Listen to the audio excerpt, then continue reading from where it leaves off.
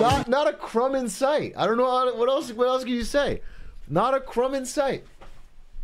Um. Hello, jean jacket, Pog.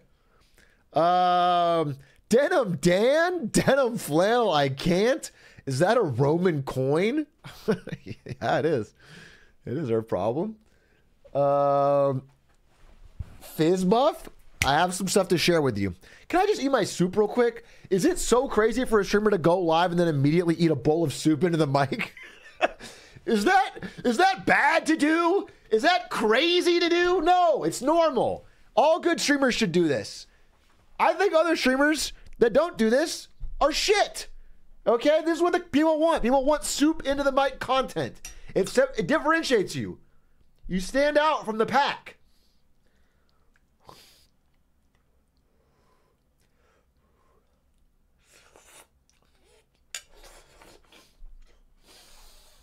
That's hot. That's fucking hot. God, that's fucking hot. Um, that's a huge bowl. Yeah, I'm a growing boy. I've been working out. I can eat a big bowl of soup. Who are you, my fucking mother? You don't get to tell me how I eat a soup or not. Bench F. Atricoin. Atrioc, wasn't there a famous Seinfeld episode about soup? Sure. It's not a Seinfeld reference to eat soup. what do you fucking tell you? People can eat soup in this world without being a reference to the fucking 90s Seinfeld show. All right, I'm not. Uh, Christ. Yum. Fucking yum, dude. Rasso, rasso, rasso. Thank you for the 23 months. Soup slug, soup slug. Lamau, you're laughing your ass off at that, at your own joke. Calling me a soup slug, you're laughing your ass off. Interesting. Baniri, five. Thank you for the prime. Matt's Will 0312. Thank you for that tier one. Irrelevance D. Thank you for the two months. Jean EVT. Thank you for the seven months. Um, Lono 71. Thank you for the 18 months. Uh, Fluffy Tacos 05. Thank you for the five. Banana Man 1284. Thank you for the 24 months. Two years. Let's go. You ever played the Batman Arkham games? Bro, real ones know that I have played the Batman Arkham games on stream. It was an amazing time. Everybody enjoyed it. I completed the games 100%. Um, and at the end, I gave a speech that was really, really inspiring to everyone that loved the games. It was like a, it was like a handshake between me and the fans of the games that said, "We are in this together. We both have strong, powerful memories of Arkham games, and we together are true fans." And then I said, "This moment is between us," and I deleted the vods right then and there. And everyone who's a fan of the game knew right then that I was a real one, that I was a true Batman Arkham fan. I was part of the Brotherhood. The fucking blood pact was sealed, and we never had to mention it again. Um, can you farm some more nicknames real quick? The subreddit is dying. Do you think perhaps the subreddit is dying because its only source of content is making a new nickname for me? Do you think perhaps if we were to twist that around and it not be just fucking Atrioc is the fucking uh, soup slug or whatever, fucking whatever it is, that fucking nickname of the day, then we could get some real content in there. Um, just a thought. Just a thought. Just denim donkey though. How about that one? There you go. Denim donkey. You got a new one for you. denim donkey. I have been wearing more denim lately. Uh, okay, there's no way I'm gonna be all this soup. This soup is too much soup. This is not possible. I'm gonna put it in the fucking fridge or something. God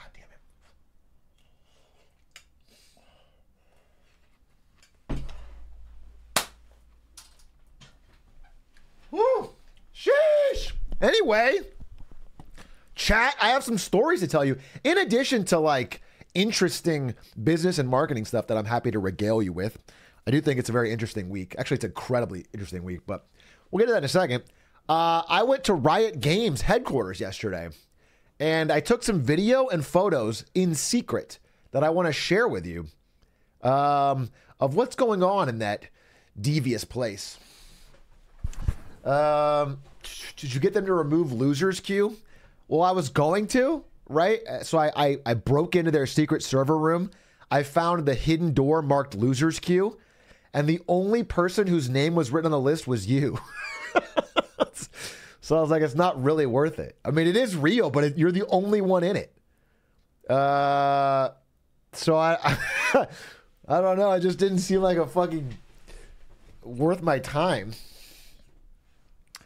Uh, did you? Oh, let's see. Are they making a VR game that will replace real life? They are making a game that will replace real life. It's not VR. It is called the Riot uh, MMO, the League of Legends MMO. and that absolutely will replace real life for some of you degenerates. Uh, some of you are going to lose. I mean, it sounds crazy to say, but some of you listening right now will lose friends, relationships, and family and will have a sadder life because of that game. Like they're developing a drug that will make your life worse, and you are going to pay for it happily. That's going. This is going to happen. This is not even a joke. This will happen. Uh, worth, but you will have like a big Garen sword or something, like a level eighty epic Garen sword. So, uh, it'll be fine.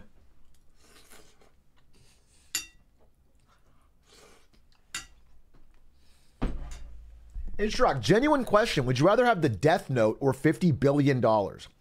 Would I rather have financial independence for me and my family and friends for generations? Or would I rather have the ability to kill people? you don't deserve it. No, I, I, would rather have the fucking money, bro.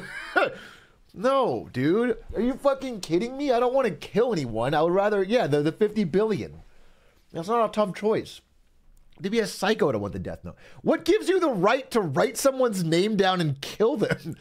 You're not God. What? what who? extrajudicially murder anyone you want at a no, no, dude.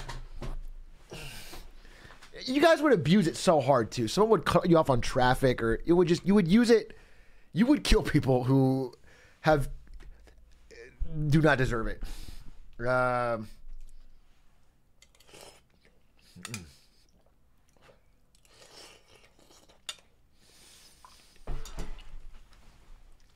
I was driving. Uh, it's a lot of traffic through LA to get to Riot. They're on like the deep, deep west side. And so I'm driving to get there. Me and Ari are in the car. And I'm trying to merge lanes, right? And in LA, if you use your signal like a normal person, people speed up to try and stop you. even though, even though they are gaining one car slot. They, either I'm in front of you or behind you, but you're losing fucking 0.1 seconds. And so it's, I mean, it's it's annoying. And I always use my signal. So I flick the light left and I start to merge in. I'm halfway merged in. This guy speeds up, cuts around me, and honks. Pisses me off. I'm super mad because I get in, I get in anyway. We're, we're, like in standstill traffic, basically. So now he's one, instead of being one behind me, he's one in front of me, and I'm following him for a long time. And I'm just sitting there thinking, this guy's such an asshole, dude. What, what the fuck is he doing? and then I was like, uh, me and Ari are talking about it, and we're like, all right, well, you know what? Maybe he's just having a rough day, or I don't know, whatever. Because he gave me he gave me that loud fucking honk and sped up around me. It was just it was just, it was stupid and petty, right? Maybe he's having a bad day. And so we're we're going along in traffic, and then because he has that slot and I don't, immediately, like like a minute later, this huge fucking lifted truck does like the exact same thing to him, like pulls in instantly, no signal, almost hits him. right, bro. The guy freaks out, hyper brakes, slams on the horn again. And I'm like, now that dude's extra pissed. Uh, and then a third time, another car, no signal, pulls up in front of him and he honks. So this guy's now honked at three different people in the span of, I don't know, eight minutes. And I'm like, I actually, it made me feel so good because I was like, that guy's just in a bad mood. That guy's just having a terrible day. you honked at me, but my day is good and your day is terrible. Uh, Uh, I have had I give no reprieve to these people. I've had plenty of bad days and never done that bullshit. When you say you give no reprieve, what does that mean? Are you hunting them down extrajudicially and saying your sorries aren't good enough and then pu- putting a cap in their head? Like what what does that mean? what what what what is does you just mean like when you're in your car you stay frustrated? What what are you doing to them that you're giving them no reprieve because um what my giving them reprieve is really giving myself reprieve to not care. You understand? That's the benefit of it. It's like, oh, okay, fine. If I imagine him as having a rough day, then it's like that I don't care. If I imagine him as like a symbol that everyone on the road is an asshole out to get me, then I am more angry. I'm more anxious.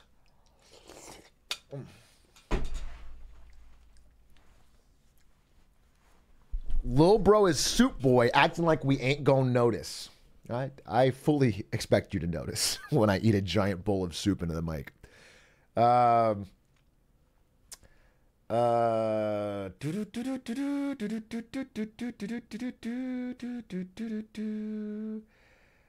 uh, just the mindset of wow, he is completely miserable and in a rush to get home to have an argument with his wife.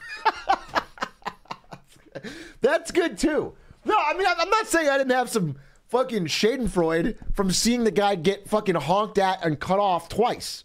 All right, that was like great. I was like, you know what? He's now he's in even a worse mood. Um.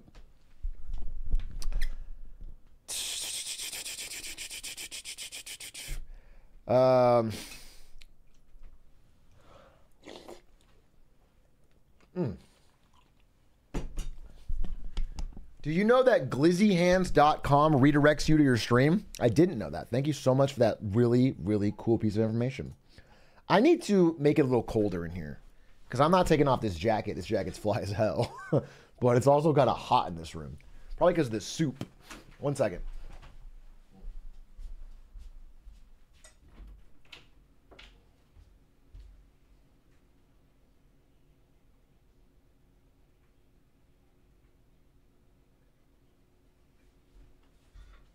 Coffee, coffee, coffee, coffee cow.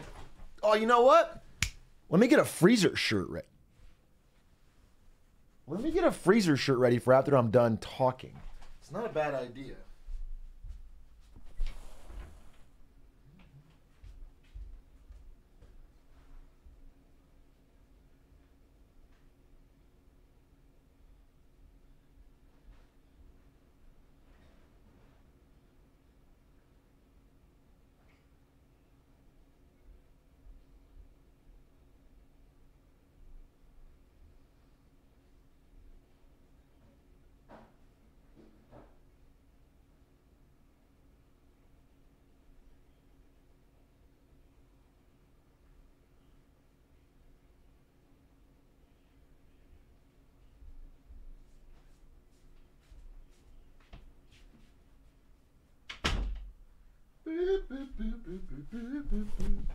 What kind of soup is it? A classy and classic chicken noodle. All right. Like, oh yeah, freshly made.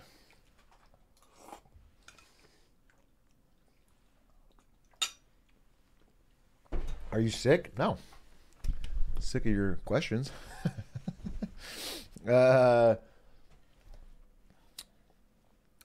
would you rather have an unlimited uh, lifetime supply of Chipotle or $100,000 right now?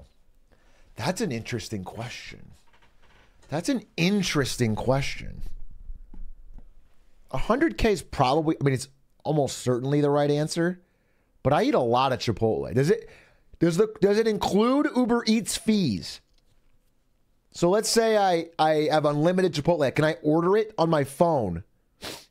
If it does, then yeah, easily. I'll take the Chipotle. I mean, I'm on pace, dude. I'm on pace. I think I've spent ten thousand dollars in total on Chipotle delivery. Uh, uh, easily, easily, easily, easily. Give me the rest of my life. I'll eat Chipotle. Yeah, hundred percent, hundred percent. Uh, it's like yeah, but what you basically said is as long as you like Chipotle, you've got unlimited food. unlimited food, dude. That's that's that's a hundred thousand dollars. You something could happen. You know, you could invest it in something that loses value, or whatever. I mean, it's just, but guaranteed food forever. Uh, what if Chipotle goes under? I guess theoretically Chipotle could go out of business, especially if they're serving me free food. can I order for my friends? Can I just start, can I really fucking milk this? Can I uh Can I just like start can I you know what I'm saying? Like can uh you know, I can't solve world hunger because I'm assuming that Chipotle is not free for them; it's free for me. It's like some kind of loophole where they are taking out of their profits my Chipotle. uh, so I can't, I can't like just make a, a hundred million Chipotle stores free. Uh,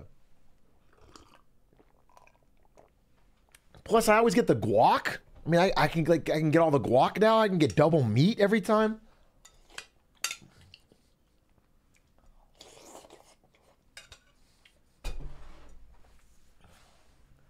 Just resell the burritos.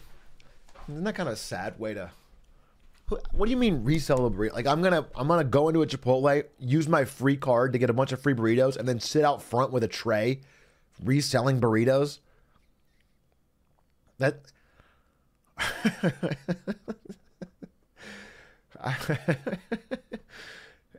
it just doesn't. It just seems stupid, right? It just seems like a bad who who would buy who goes to Chipotle? I mean, I have to really mark them down and then it'd be spooky. Let's say you walk to Chipotle and then you see a guy out front in a cool jean jacket offering one dollar burritos. Do you buy? Are you are you worried or you just keep going into Chipotle and get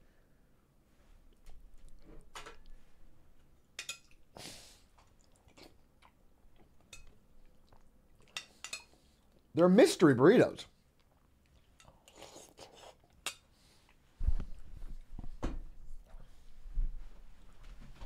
At what point does the money become more valuable than Chipotle to you? I mean, the real answer is the money, bro, right? Even if I really love Chipotle, I was joking. But $100,000, you could take $20,000 and have Chipotle like anytime you want. And then you have 80 grand you could put into the market. Do you know what I'm saying? realistically, there's you're not spending that much on Chipotle that it would uh, uh, the guac is really expensive. It is the guac is such a crazy markup. Two dollar. This it's a one little slab of guac. It doesn't.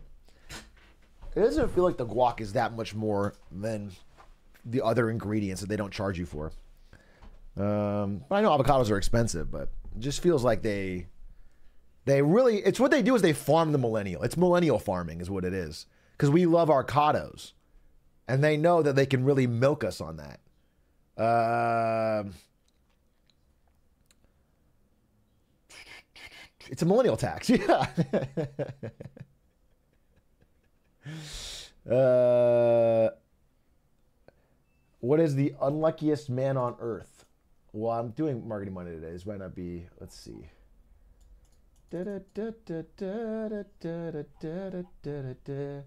Yeah, I will, I will check this out. Unluckiest man on earth. Right. I used to work there because it takes so much time to do in the mornings. Wait, what do you mean? To, to mash the avocado and make the guac? That's that's why they charge two dollars for it. Fine, whatever. I'm not. Listen, I'm, I'm still buying it. Um, H-Rock, the how much does it cost to buy Chipotle can you put the 100K towards building one yourself and get free Chipotle? If you take $100,000, which is not enough, by the way, towards building a Chipotle franchise and then use it to give yourself gratuitous amounts of free Chipotle, that is the least efficient way to buy meat and tortillas to make yourself food. Do you understand? That you are just cutting into your own bottom line and you've spent all of the money on the the employees and the space and the, and the franchise rights. That that is that is so stupid.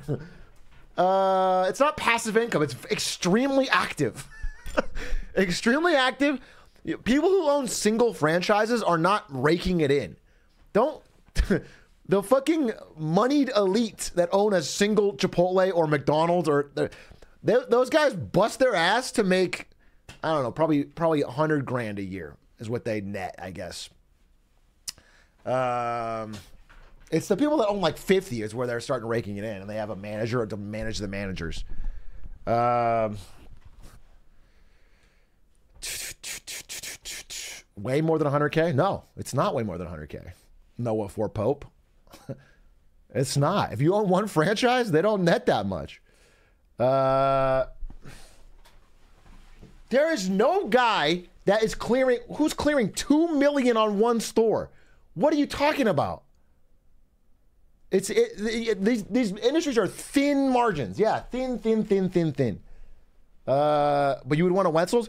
Yeah, because Wetzel's low upfront cost, high ROI. They, they it'll pay for itself in like three and a half years, and then it's all profit. Hmm. I just looked it up. Profits are about 50 to 150k a year. Interesting. And not that exactly what I said, but there was some guy in chat who claimed I was dead wrong. That's interesting. I'm so I'm just confused because usually chat's always right about this stuff. Um.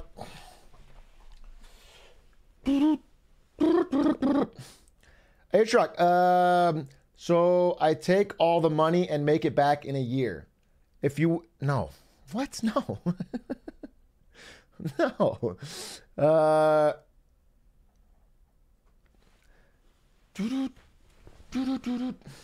It's kind of hot, dude. No, no, no. No, if it's a really good franchise, you'll make your money back in a few years. But you have to run it well. Do you understand? And you have to hire people that are good, and you have to also be in in the you know it's a little bit of luck because some franchises just because of larger consumer tastes fall out of favor. You know, there's a lot of people that jumped on the franchise trend for um, frozen yogurt. Remember that frozen yogurt? Um, you know, boba places they jump in and then they uh, they saturate the market, and the consumer taste change. People don't want that stuff anymore, and then you're stuck. Um,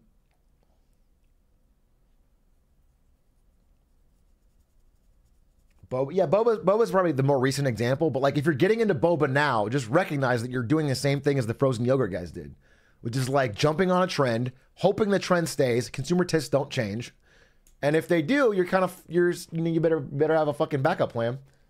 Um. Do do do do do do. Uh oh. What's up? Call me Mr. Mouse. The benchmark for success for the average restaurant is you pay back your debts in three years. Yeah, exactly. About three years. And that's good. That's awesome.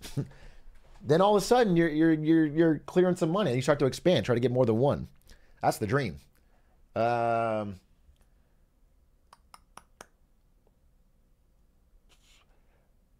after that, it's infinite Chipotle for me. Listen, if you own a Chipotle, you can get Chipotle meals for cheap for free, I guess. Like, but it comes out of your own bottom line. It's like it's like you're opening a lemonade stand and then drinking the lemonade. You're like, I found a fucking hack. it's like, no, you bought the lemons, you bought the sugar, you put it together, and now you're drinking it. It's not, it's not a hack, dude. Every everything comes back to your bottom line. uh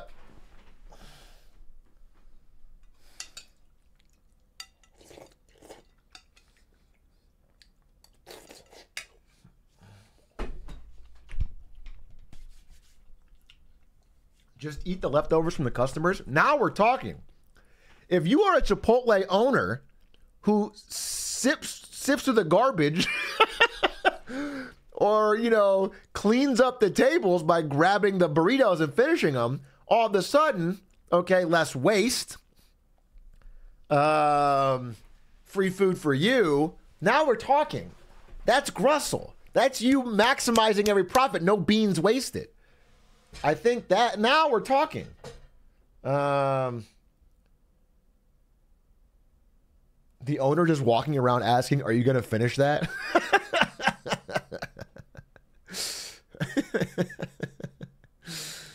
uh, yeah, that's hype. Now we now we're getting on the same page here. I, I see where you guys are going with this. Um, the Goat Pizza Chain. I don't know if I really like any of the pizza chains.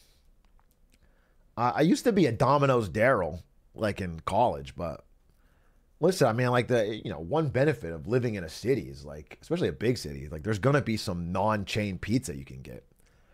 Uh, only thing I fucking hate is is uh, Papa John's.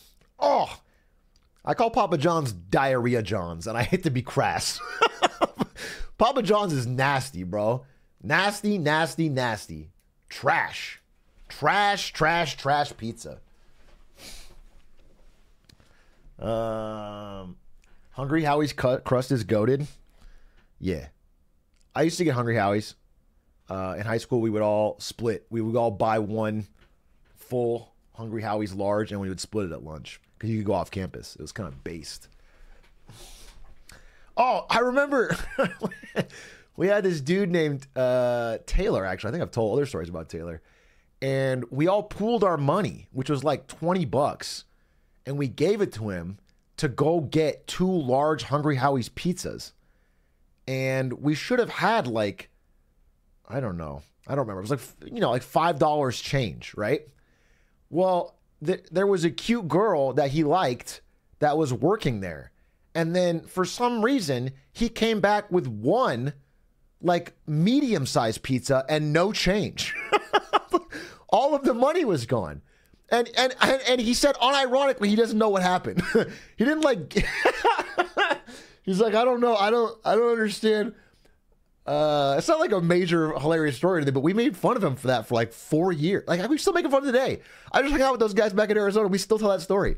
I don't know. It's not even that big of a story. We still tell that story all the time. It's just one of those stories that fucking runs. Uh, uh, I get a table at a pizza place and I make a microwave pizza in front of them. your, your Grussel's insane.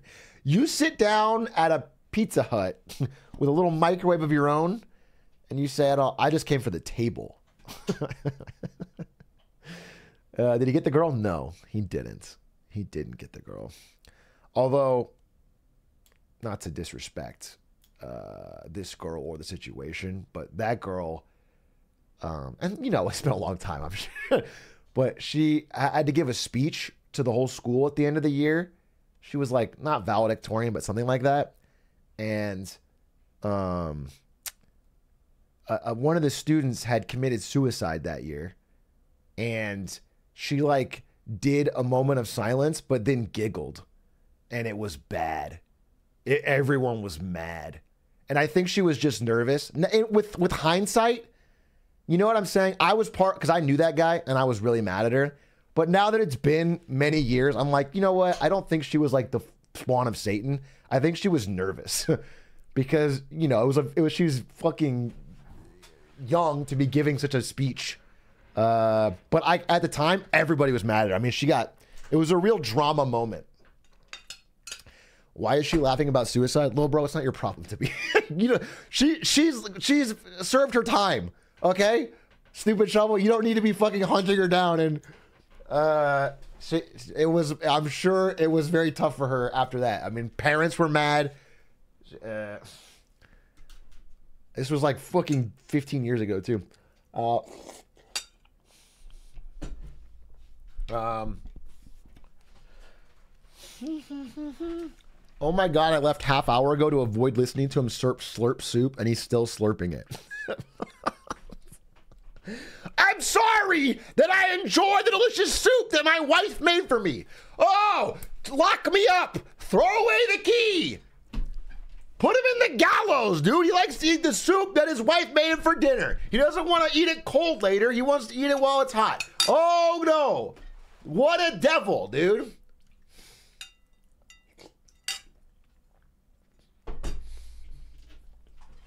Ah.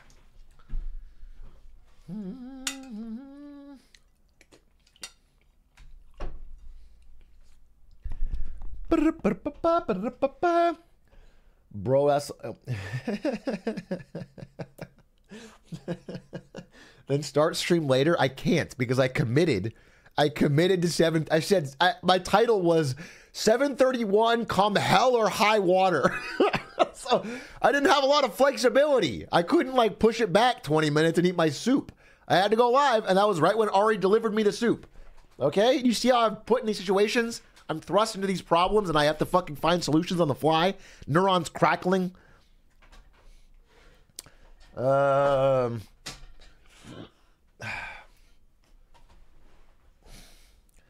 All right, let me get like two more bites and I'll just put it away. I'm not even that hungry anymore. Let me get two more bites. All right.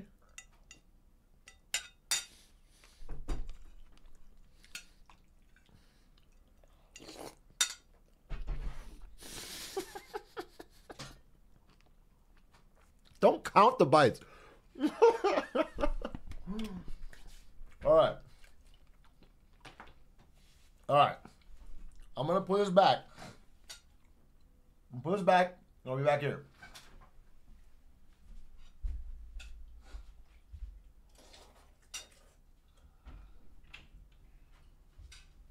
Babe, this is a fucking good soup, I'll tell you that.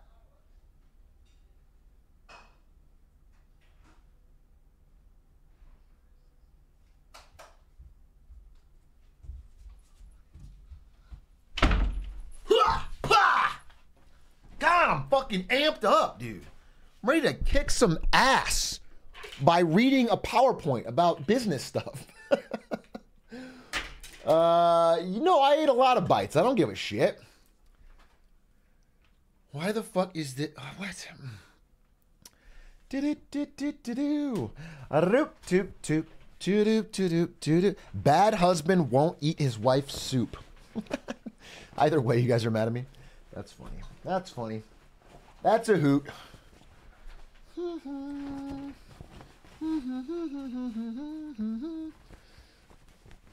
Except I told her I, when I went out there, I was like, "Hey, babe, this soup fucking rocks." And she said, "Oh, thanks." So how about that? All right, now let me show you guys what I was doing yesterday. Uh, because I took a visit to one Riot Games headquarters. Let me send these videos to myself. Da da da da da da da. Sending these videos to myself. Mm. And basically, my takeaway, if I had to have a takeaway from this trip to Riot Games for a little after hours dinner and gaming, is that, um, and I hate to say this, I don't even want to say this. This is like not something I want to say. Wait, let me just. Um, how far up did you roll the cuffs? What do you mean by that? My, they're not rolled up at all. What? Uh, lame. I don't think you you shouldn't roll up the cuffs on a jacket.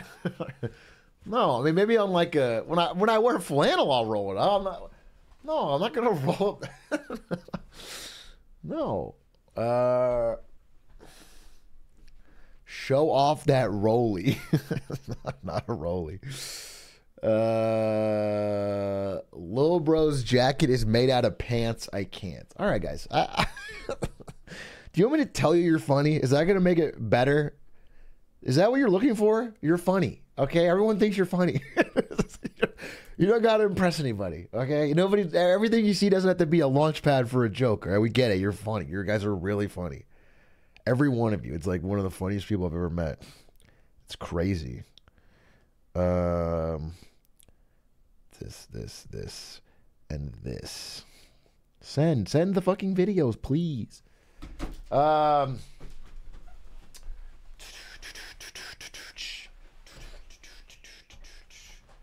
Uh, yeah, we'll do Marketing Monday here in just a minute, so uh, you know, don't worry about that. But uh, I want to tell you about Riot. So I go to Riot, uh, I got some friends there, and I want to hang out. Oh, well, yeah, um, and uh, I want to hang out, and we're gonna play some games, and we're gonna play Melee and play some Magic and whatever.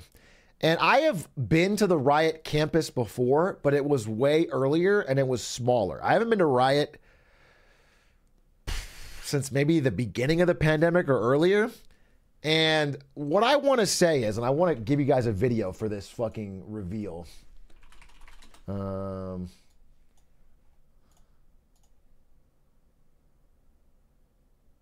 let's see. Riot's a grower, not a shower. Are you comparing Riot Games to a flaccid penis? To make what point?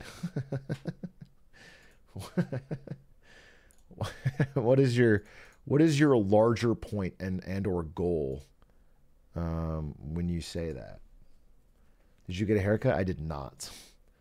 Um, okay, my point is to tell you that Riot Games. Here it is. Here it is. Here it is. Here it is. Still me chewing. chewing into the mic even on this video. As Riot Games is if you are a young person right now looking to work in tech or games, I can't think of a more fun looking place. I used to think Twitch in 2014 was the absolute peak. Uh this this was not a workplace, bro. This was like a fucking um gigantic dream gaming dorm.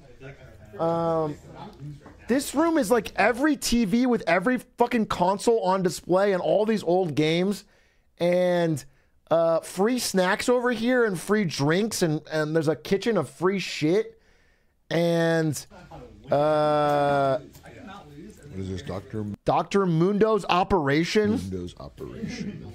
And then watch this. I pan up. It's a fucking like super sick cyberpunk Korean themed PC cafe. this is like fucking 9 p.m. at night, and it's just a bunch of people playing fucking Valorant and TFT and shit, eating free snacks. It's insane. Oh, then show stream. Uh, and then over here is an arcade, and this goes deep. this is an arcade. There's like all these fucking classic games for free. There's your arcade over here. There's a bunch of old ass boomer games Not for a zoomer like me.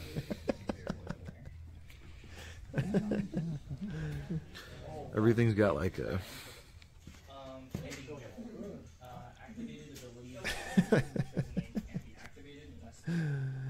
Anyway, oh yeah, and then this. I found that they fucking uh, named a conference room after me.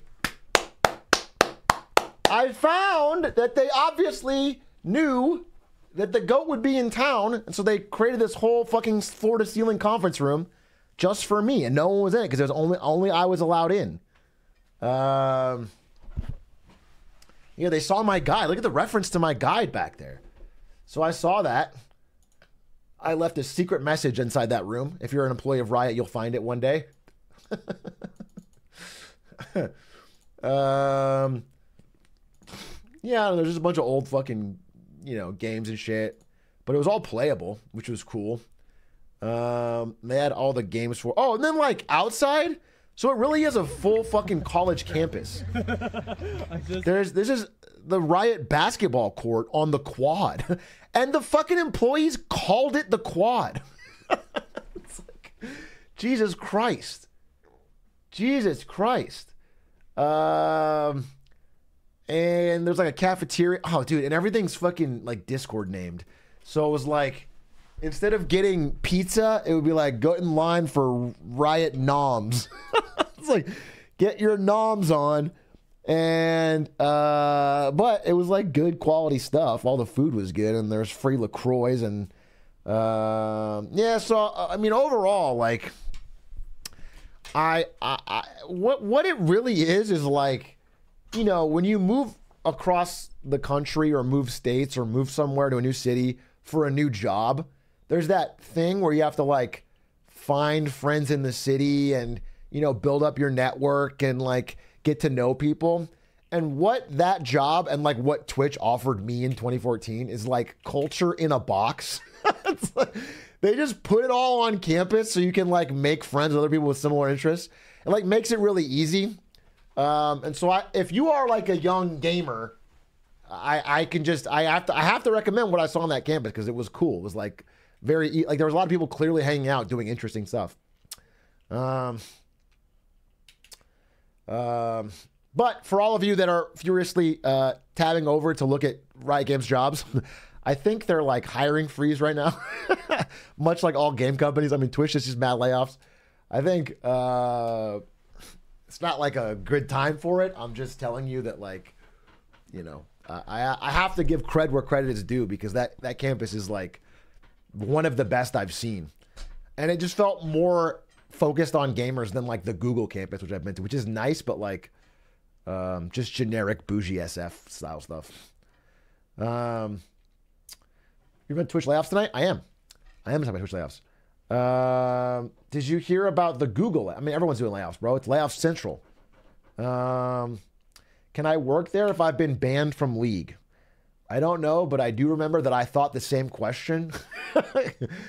I was worried they were going to check my chat history when I applied at Riot back in like right after I graduated. And so I like played 20 games in a row where I was like overtly nice. I just kept saying like, "Hey, good job, team. Great job." I was just trying to like push that shit back more in the history. Pretty, you know, in, in hindsight, a waste of time. Like that, I could have been prepping more for the interview or something. But I just thought that would be 20 games of League of Legends not a great way to prep. Um.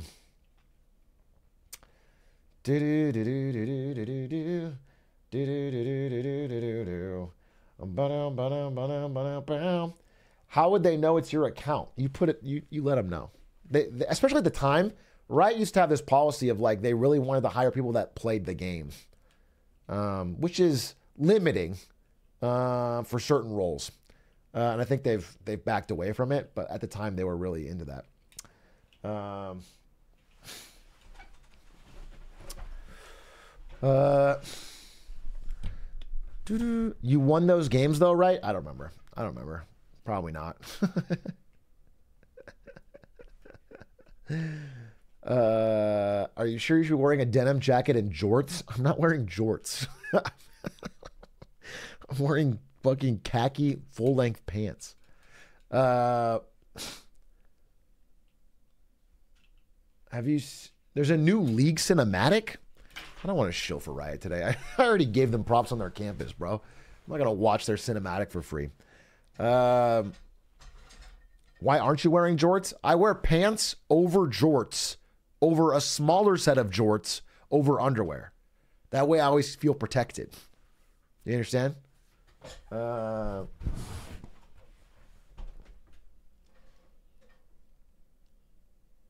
it's really good. Fuck it new Riot or watch the Riot cinematic.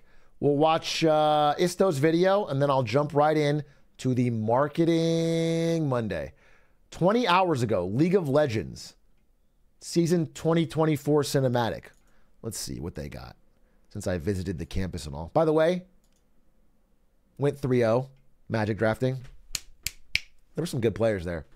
Cleaned up, dude. I'm actually just so nasty at Magic. It's crazy, dude.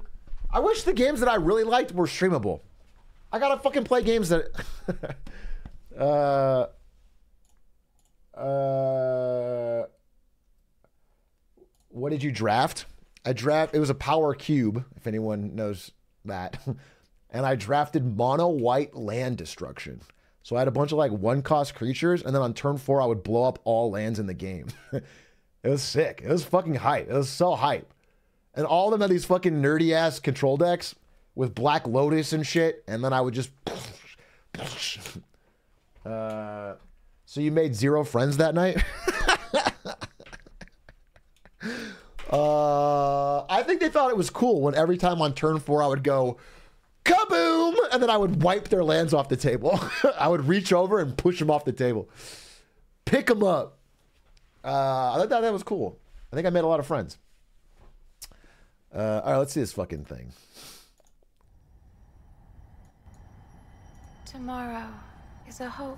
By the way, everyone in chat, I don't know if you guys know, Tierzoo is in chat. He's been working on like a lot of sick new videos. Like he did that really, really, really high production value uh, saber-tooth tiger versus velociraptor video.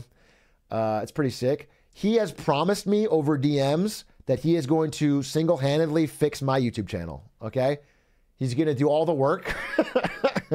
He's putting me in a Discord channel that's going to just fix all the problems and make sure that I have great, high quality videos every single day. So if it doesn't happen, blame him. Do not blame me because I have already pawned him off. So that's on Tierzoo. Let's see. Never a promise.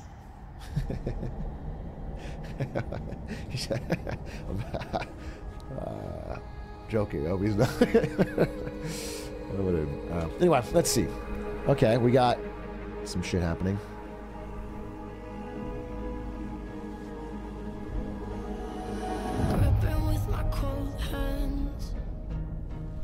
Shapes I used to take. I don't like a strong man, but it's easier to push. Can I say something? Riot Games years ago lapped the entire rest of the industry when it comes to music. But now it's been so many years.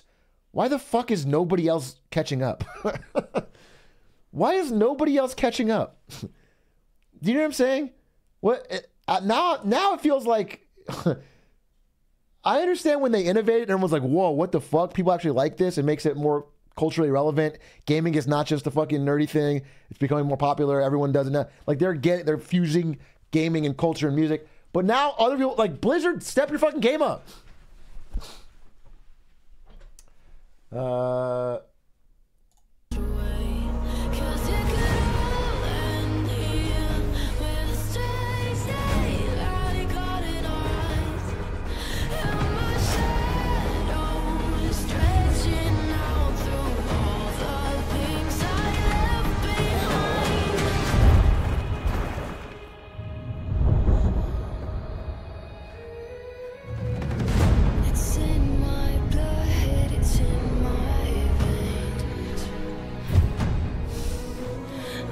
is this a new champ? Am I am I is this Kayle? Is this Morgana? Are these like wings? What what is this? When did Mor- Morgana doesn't look like this? That's- when did she go woke?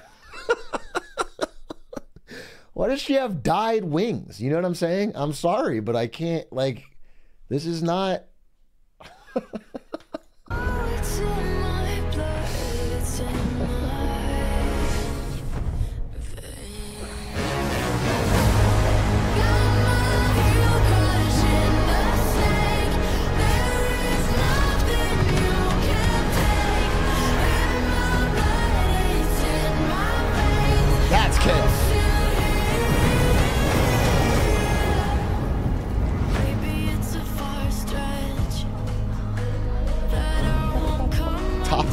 begun.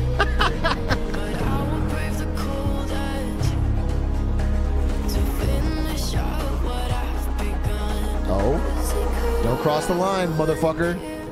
With the strange Don't cross the line. daylight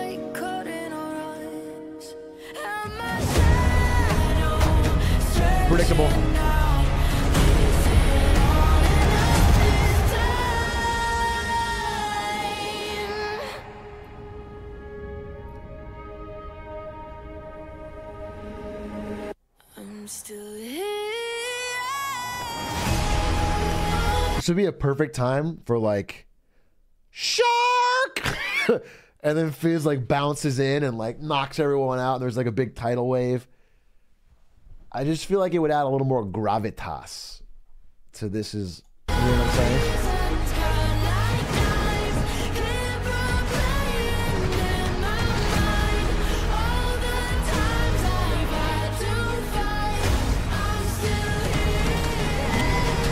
Never been in the cinematic, I think, which is kind of cringe.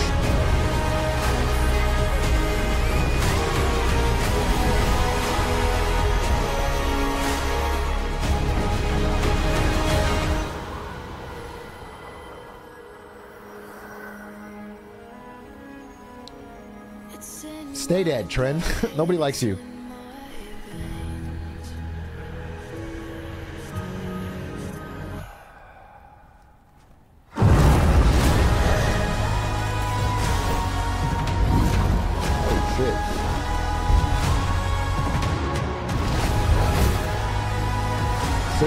Basically Five Nights at Freddy's? Yeah, basically.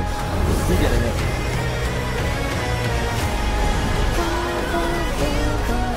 Kindred is a cool champ. cool design. Tryndamere is a cringe channel.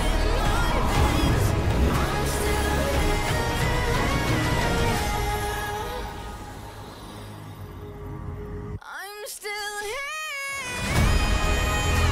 And saved it. Original, the OG!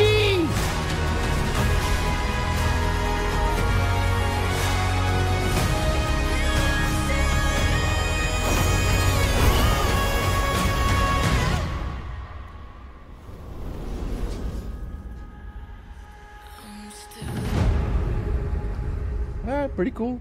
Pretty cool, pretty cool. Excited for Arcane 2. Looks cool. I mean, you know, it's just, it would be really fun to take that cinematic and then cut it in with like actual league gameplay of you getting called a slur because you missed a CS or something by, your, by your support, you know? Just like cut it back and forth. of like fail flashing over the wall and then your fucking jungler goes AFK or uh still here is a is a fun tagline for a game trying to stay relevant. League of Legends is still relevant, bro. Biggest esport in the world last year. Uh, It's only dying in NA because uh, everyone's found even more toxic games. League's still huge in Asia. Uh,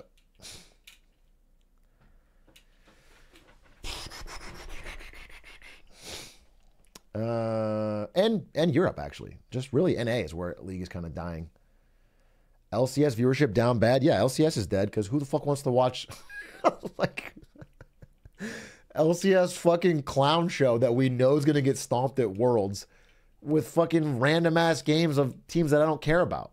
By the way, like none of the teams are even homegrown NA talent. It's like they import, you know, washed up players from other regions in order to like win trade back and forth, then lose in worlds.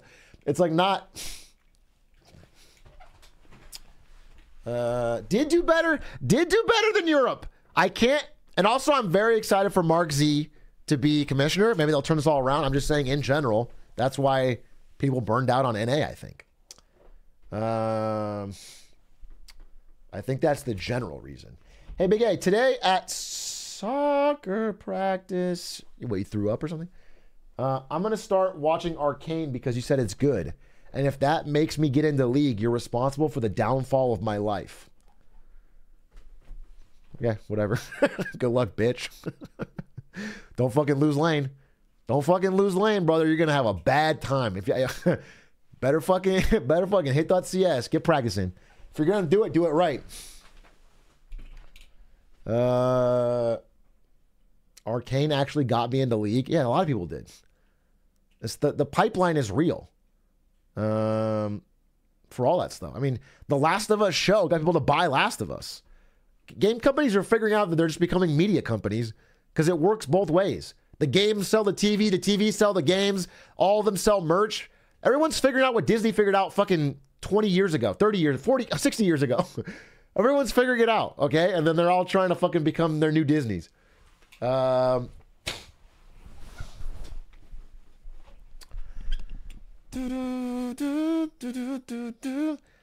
Uh, did you see Mark Zuckerberg's Hawaii ranch? Yeah, I included it. It's all included. Uh, I'm shocked Disney doesn't do more gaming stuff. They're trying. They're trying. They realized a little late that gaming is the future and every kid wants to fucking play games. So they're trying. I mean, they did do Skylanders and shit. Uh, but they, they're trying to become, they're trying. They're trying, dude. Um,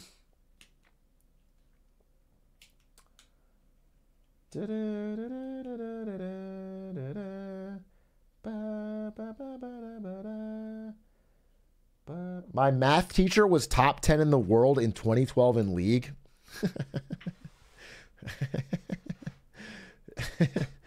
I, well, in the world, I don't believe. I think your math teacher's lying, unless you live in Korea. I don't. I just don't believe him. If he's top ten in NA, I probably do believe him because that's about when I was top twenty one. uh, it was totally possible back then if you were a grinder and, and you just grinded NA. Uh, but now I am bad and a streamer, and he is probably bad and a math teacher, and so we both lost our our chance at LCS. Um,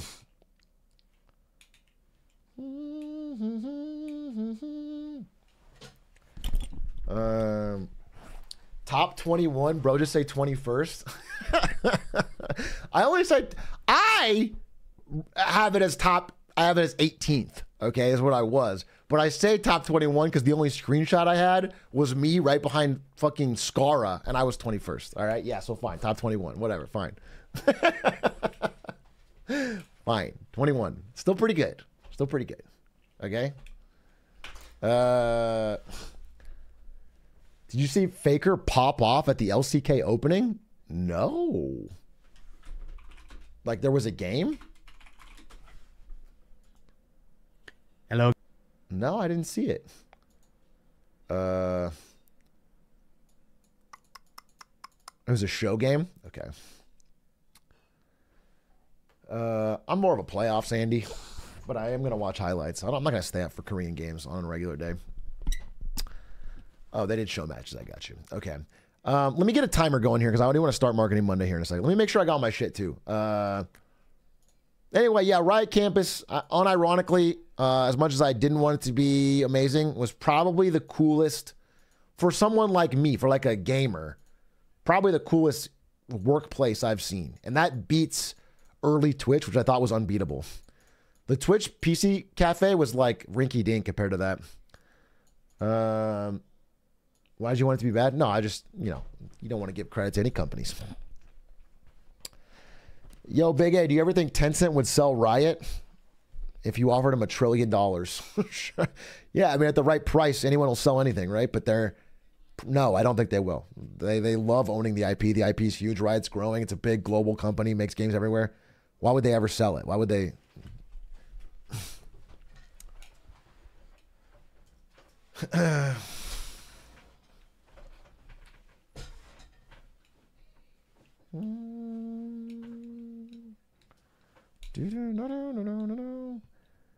Um, she Brandon on my Atri until I awk.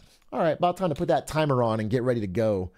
Uh, let me make sure that I got everything that I need in this slide.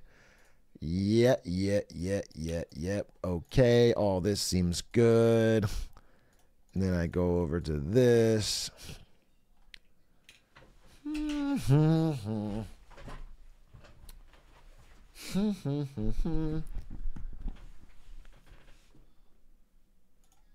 Um.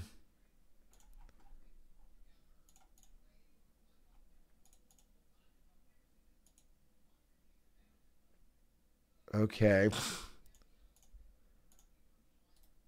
Um. Wait. Just hold up one second. This is going to be good.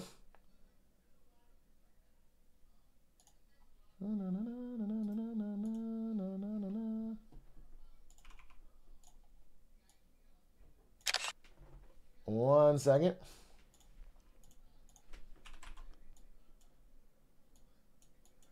One second. Hold up. Screenshot. Everyone just introduce yourselves to each other. you know? Everyone go around the room and say one fun fact about themselves while I make sure uh, that this works.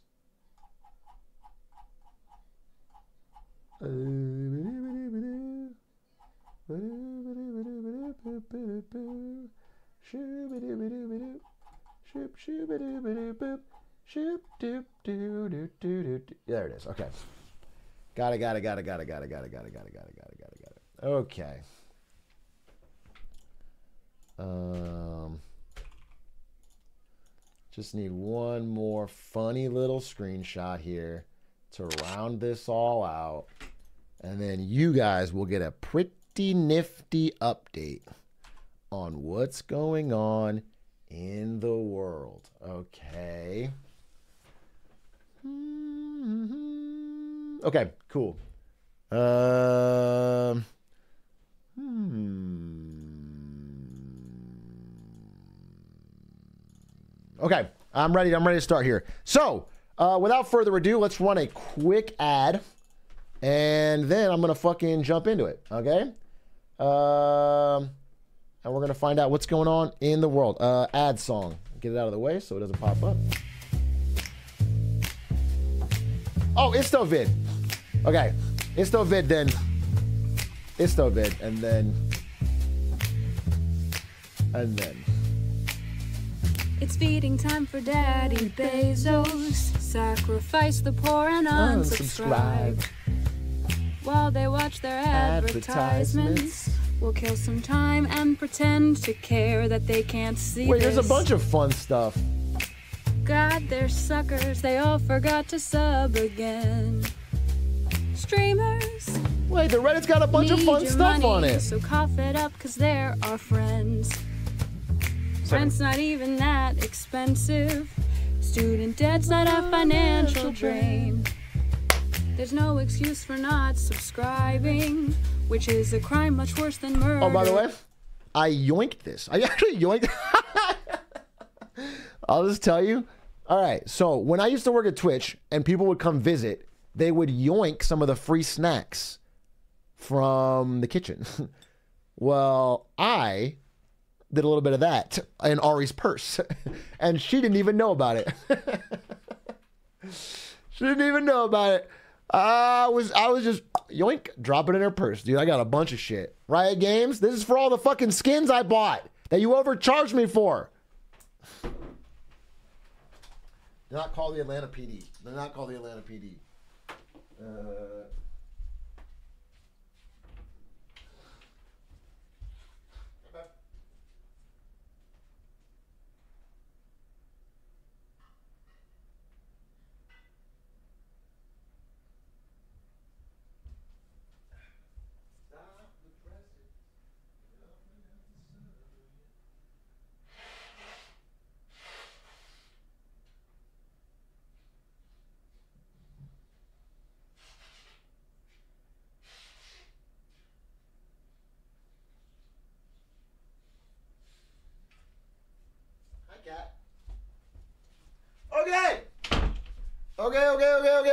okay, okay, okay, okay, okay, okay, okay, okay. It's not fucking coke. It is blowing my nose when I'm talking. Uh, the song unironically reminded me to make my student loan payment. uh, we got it. Uh, wait to my predictions, bro. We got to talk about student loans. I've been reading a lot about student loans, bro. None of you are making your fucking payments. you guys aren't making your payments. Holy moly. You guys are not making your payments, bro. Straight up. You're not doing it. You're you guys are skipping. Ooh, we gotta talk about it. Uh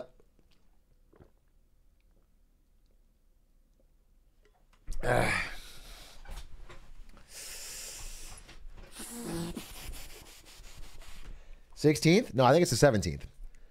Well, I believe my prediction stream will be one week from today. I believe that is the case, but it's it's going to be exactly one year from the last prediction. So whenever that was.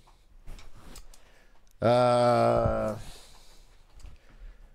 Anyway, I've been working on it every day. I feel good about it. Okay, guys, without further ado, I'm going to check out the Reddit real quick, and then we're going to jump into Marketing Monday. Uh, there's a lot of things in the Reddit that I want to see. It'll be very quick. This will be a quick Reddit download because a lot of them are stupid. Like, go ahead and get your glizzy on, which I already got tagged in like 50 times on Twitter. Okay, this is not. This is not. I don't need this. Um, there's a guy saying "glizz up" as he's eating a hot Costco hot dog. It's amazing. There's a guy drawing. That's pretty good. That's actually pretty sick. There's happy part of the Glazed Trioc fan base, and it's just my face on Fizz, which I guess is fine. I'll give it enough. There's Atrioc's famous week of eight off, 10 out of 10 straight on the partner. I think the story I told about Rudolf Hess was actually fascinating yesterday. And I think if you didn't see it, you should go listen to it because it's one of the most interesting stories about World War II I've ever heard. Okay? I think it's fascinating. Um, uh, this is a real Instagram account of a Chinese silverware factory where the boss posts how good or bad her employees perform. love you.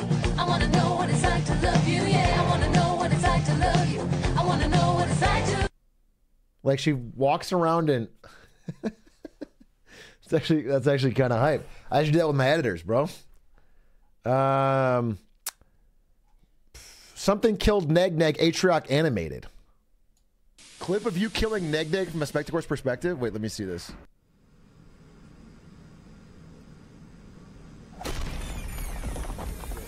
No, you're right. You're right. He's This probably is- just this scared is about new. something. Hey, Well, you can stop. you can hit people with that. Oh yeah? Oh, really? Oh!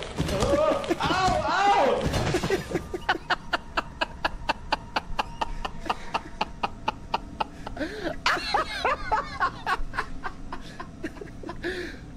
A spectacle!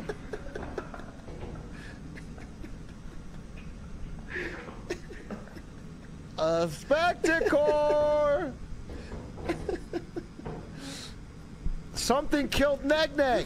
That's so psychotic. Who did that? That's amazing. Wait, uh, that is TJT Lee?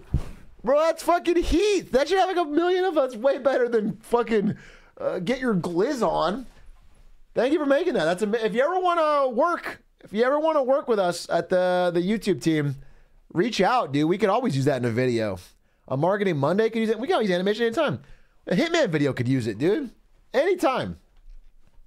Uh, would love love to pay you money and work with you. And with that, Um, okay, that's all. Rest of it is all glizzy. So remember, Big A Awards uh, this Saturday at 6 p.m. Oh, there's my fizz guide. Too wholesome, I can't. And it's from 10 years ago. Bojangles the Craze said this is the best fizz guide I've ever seen. Atrioc's ultimate guide to fizz is phenomenal. I can't believe it hasn't been posted before, but anyway, here it is. Thank you, Bojangles the Crazy. You actually got me a lot of traffic. It was great. It's actually hit number one on our Summoner School. Uh, full image? What? What's the full image? Uh, I would highly recommend this guide to anyone thinking of picking up Fizz. I had no interest in playing the fish till I saw this guide. And you know what? It still holds up today. Oh, what did I say? Hi guys, really glad you seem to like the guide. It holds a special place in my heart. It took a ton of time to make. I had to teach myself the CSS, HTML, and video editing from scratch, and I played Fizz at Diamond One. Diamond One, by the way, was the highest back then. There didn't have Challenger. Uh, nonstop for like a month to make sure what I was saying was useful and true. Uh, I really want to update it for season four, but uh, I actually got a job at Twitch where I'm now working full time.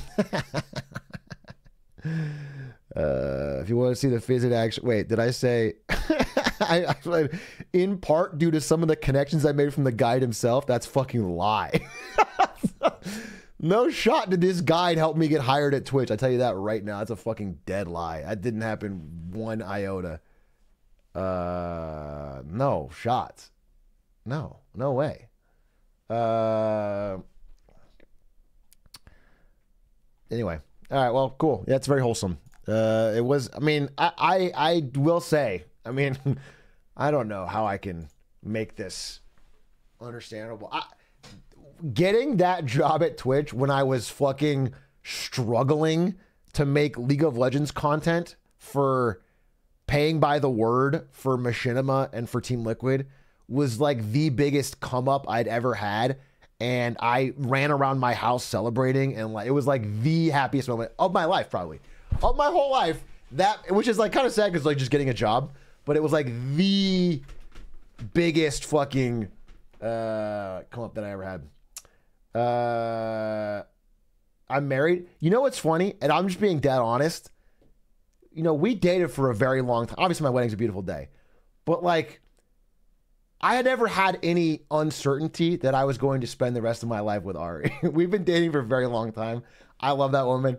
So, like, the wedding day is almost to me like a really beautiful capstone to a, a, a you know, a relationship.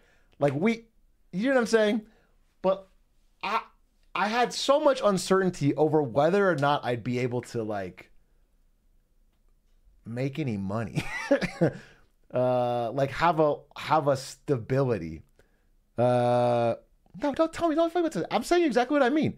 I'm telling you exactly what I mean. Don't try to fucking. You guys. What? Wait. What am I gonna say? Shut the fuck up, you parasocial freaks. No.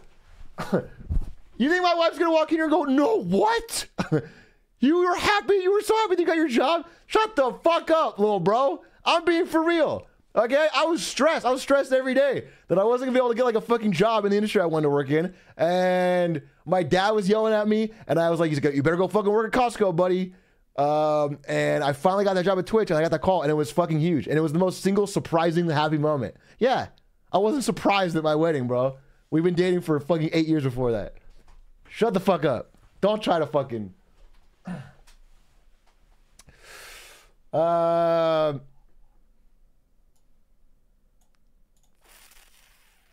Uh, where? I forgot what I was doing. you guys threw me off. You threw me off. Oh, Isto's video. The unluckiest man on earth. Let's see. car crashes, four broken ribs, broke my arm. What? What happened? Seven car crashes, four broken ribs, broke my arms four. Seven car crashes, four broken ribs, broke my arms four times, different occasions. The 2006 Rocky Mountain train crash, I was on that. The balloon accident, uh, the first case of unprompted scurvy in 100 years. Lost most of my bottom teeth on that one. What? And I've been caught in two house fires. My name is Steven, and I am the unluckiest man on earth. I had a mostly normal childhood. It's just in my teens, it was like a switch flipped. I remember my first car crash. I was 16, uh, Okay. head-on collision. I was in the hospital for three weeks. The, the guy was drunk. He crossed the road and drove into a parking lot and hit me while I was parked. In fact, five out of the seven crashes I've been in, I've been parked. And it's honestly gotten worse since I've gotten older. In recent years, my unluck has started to affect people around me, people I love. Oh, my no. brother, who's an avid athlete, was out running one day and slipped and fell on a patch of ice into a bush and hit a needle that was filled with fentanyl. The doctors say it was statistically nearly impossible to have the veins be hit by the needle in such a perfect way, but well, he's been in and out of rehab ever since. And since I'm the only family he has left, it's been quite tough. What happened to the rest of your family? Uh, the hot air balloon accident. It was a family reunion. Aunts, uncles, cousins, pets. I'll never forget the screams as they tried to put out the fire. Why They said you I was lucky I missed it because I was picking up my brother from rehab, but I don't know. They also say that God gives its toughest battles to its strongest soldiers. Yeah. Sometimes it just doesn't feel like things go my way at all. Right. But people are now calling you the luckiest man alive. Could you Why tell is that? about that? To be honest, I don't think there was anything on earth that could balance out the hand I've been dealt, but I guess the universe somehow always finds a way. Uh, because three days ago I won. I won big. How? In fact, some might say I won bigger than the big. Because I want a free ticket to the Big A Awards. Holy shit! His life is back on track! It's back on track! And it's a good ad, too? Have they been paying attention? Uh, This Saturday! Voting closes in the next two days. Get your votes in. BigAwards.live slash vote. Um, check it out. Vote. Eh, What's cool about it is I know as much or less than you. I don't know anything about what's going to happen in these awards. They're they're they're going to like stream it to me on my channel and I will be live uh, react but I am not I have no I, I don't know what they spent the money on. I don't know anything. I don't know anything, but I do know that we are going to have some awards and I'm excited for you to see them and you get to vote. Um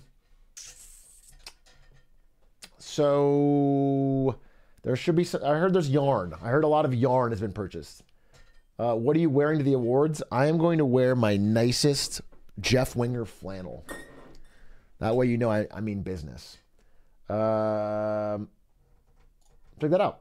Pretty cool. Is there any other video I need to watch before we start? the Marketing Monday. Lots of yarn, but one more. Okay, here it is. This is behind the scenes planning the big A awards. You are watching Aiden and Braden. But Atrioc's watching House.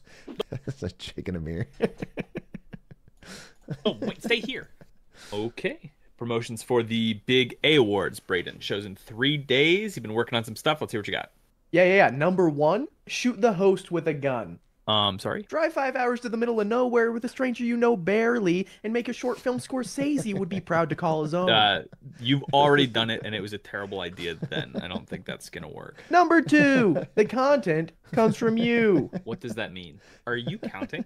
If the streamer won't promote the vote, we Mm-hmm. have to get out there and tell people to watch ourselves. Pull me up by my bootstraps and make some Reddit posts. Marketing Monday. How about marketing every day, okay? How much effort did you put into these? Are you reading? Did you write these down? Number three, get away from me. This We're is like hosting the show together, Braden. That's not going to work. Yo, gotta get to the show three days early. That's what I know. Have you been rhyming in the responses the whole time? Number four, lock the door. What are you talking about? What what door? When you're there on the day and you're watching the show, you don't want anyone IRL to know. Turn off the lights and turn on the screen. It's time to watch with ads in between. True. Just a little pause. On Saturday, don't let your parents come in and see you watching the Big A Awards. Don't let your family. Don't just make sure that door is locked. okay? You need then you gotta lock this down. Uh I what are you saying? I think we've completely lost the thread. I don't know. Number yeah. five, go for a drive. Where did you get that? Ain't she a beaut? yeah, so get in your car, go real far, maybe to Twitch or Nvidia even. Show up to his house and say hi. don't I'm Steven. don't do that. Uh, your name's Braden, and please don't show up to Don't- anybody's obviously house don't claiming do to be that. Steven. Number six. do that. We want those clicks. Is that an Xbox control? We don't. Nobody's watching this on their Xbox. My mental health may go down and spiral. I just want you guys to know that like I think I'm pretty chill as a streamer that like some of our running jokes here are that we should shoot me with a gun and show up to my house. Can I just say like that's I'm being I'm chill about that. Like I'm pretty cool that we're having this this this running bit here. Uh, We're gonna go trending and viral. Next year we'll get a higher budget. All you gotta do is tune in and watch it. You okay, man? Do you want? Is there something you want to talk about here? there, Like a Number underlying- seven. A heart named Kevin. That's right, we did it. We got Kevin Hart, man. He's probably got some friends. He can, he can connect us to Dwayne. No. I don't know. Okay, we didn't. We didn't get Kevin. Hart, you guys got so Kevin Hart. That's that we did. awesome. What? What if we start a cult? Yeah, that could work. Yeah. Welcome one and all to the Big A Awards. I'm All Ace. right. Hey, let me give you a tour. Wheels on the bus go round in New York. New York, you know you. When need- you eat your need Smarties, you eat the red ones last. Scissors, sizzle, scissors, sizzle. That's good. That is good stuff. Unique New York. Um, all right, well, check it out. Check it out. The Big A Awards this Saturday. That was very funny by um, uh, the team. Uh, uh, who's the guy with Braden? Braden and who? I'm sorry, I I want to thank them. Braden and and uh, what is it? What is the other guy's name? I got Aiden. Braden and Aiden, dude. sorry, sorry, sorry. My bad. My bad. My bad. My bad. Jake and Amir. Um, and Kevin Hart confirmed to be there. Kevin Hart confirmed to be there. Oh, Steven. Braden and Steven. I'm sorry, Steven. All right. Okay. I met Braden IRL. I haven't met you yet. Okay. We're, we'll get there. Um, no, what's Braden and Aiden? Shut the fuck up. Shut the fuck up. Okay. Um, all right. Ladies and gentlemen, without further ado, uh, to dip your steak sauce in, um, uh, you guys always do the same thing every time I say that. you, you ever heard of? You never heard of this? Oh wait, I lost it. You never heard of this? You never. There's never. you never heard of this? French dip. You never had a French dip sandwich? Uh, Uh, it's good. It's tasty. Uh, we're gonna get into Marketing Monday, which, but you know, is a labor of mine, really. But it requires a small effort on your part. You know, the snowball rolls on its own, but you have to start pushing it down the hill to get it started. And all it does is requires you to look at your screen, analyze what you're seeing, and then when you see the part that matches you, you just say me. It's really that simple. You just say me, but it has to be the part that matches you. So, ladies and gentlemen, without further ado, let's get to marketing Monday. Today, I want to talk to you about uh, one big topic and three simple letters. Uh, the big topic is big oil, and the three letters are ESG. It stands for Environmental Social Governance. And it's a pretty divisive set of letters. Everyone has a lot of interesting opinions on ESG. But uh, let me give you some background. Let me understand what's going on, what ESG really is, and what that means. Oh, it's, it's kind of cut off. Let me fix that. Uh, ESG. Uh, it's hated by people on the left and the right for different reasons. Uh, but so here's the background. Okay, so um, the, the the basic idea is that people want to invest in companies. Some people out there want to invest in companies that are doing things that are good for the environment or good for society or are you know uh, properly run. They're not they're not pouring toxic waste in the rivers or whatever. You know, whatever. That's the idea. Some people want to invest in those companies. That's the original idea of ESG. Okay. And so, over the past, let's say, eight years, investors started pouring a lot of money into funds that were designed to put money in ESG stocks. Stocks that, for some reason or other, are categorized as beneficiary to environmental social governance. Okay. So 142 billion dollars in the fourth quarter of last year, 2.7 trillion across more than 5,900 ESG funds. Okay, a lot of a lot of people all over the world, a lot of which are in Europe, want to invest in companies that are changing the world positively in these categories. Uh, again, much of the asset flow comes from regular people, retail investors. It's like people like, you know, random people off the street who have savings and when they want to invest for the future, they want to put it in companies that are also doing something good. That's the idea. Okay? But when there's that much money from regular people that is chasing something, the big Wall Street banks will step in to fill that demand. So JP Morgan Chase um, realized a lot of people wanted to put their money in ESG stuff. Again, this is this is a few years back. And so they started repurposing their old funds into ESG. They started making their own ESG funds that you could put your money into. Uh, here, here's like here's the example right there. This is JP Morgan's website where you can invest in all of these ESG funds and they make sure that they're best in class and they're thematic towards saving the environment and they have good impact. And if you have money, give it to JP Morgan and they're going to put it towards ESG progress. Okay, that's the idea. Uh, on the other side of the globe, there's a company called Saudi Aramco. It is the largest oil company by revenue in the world. Uh, it's the largest company by revenue in the world, actually, raw revenue. Um, and uh, they're like the state sponsored Saudi oil company, okay? This is them now. As you can tell, they're not exactly very environmentally friendly. Uh, in fact, not only do they pollute a lot, but they lie about how much they pollute. They consistently try to undercut and lie about how much they pollute, okay? So you'd think in the world that these two things would be ships in the night.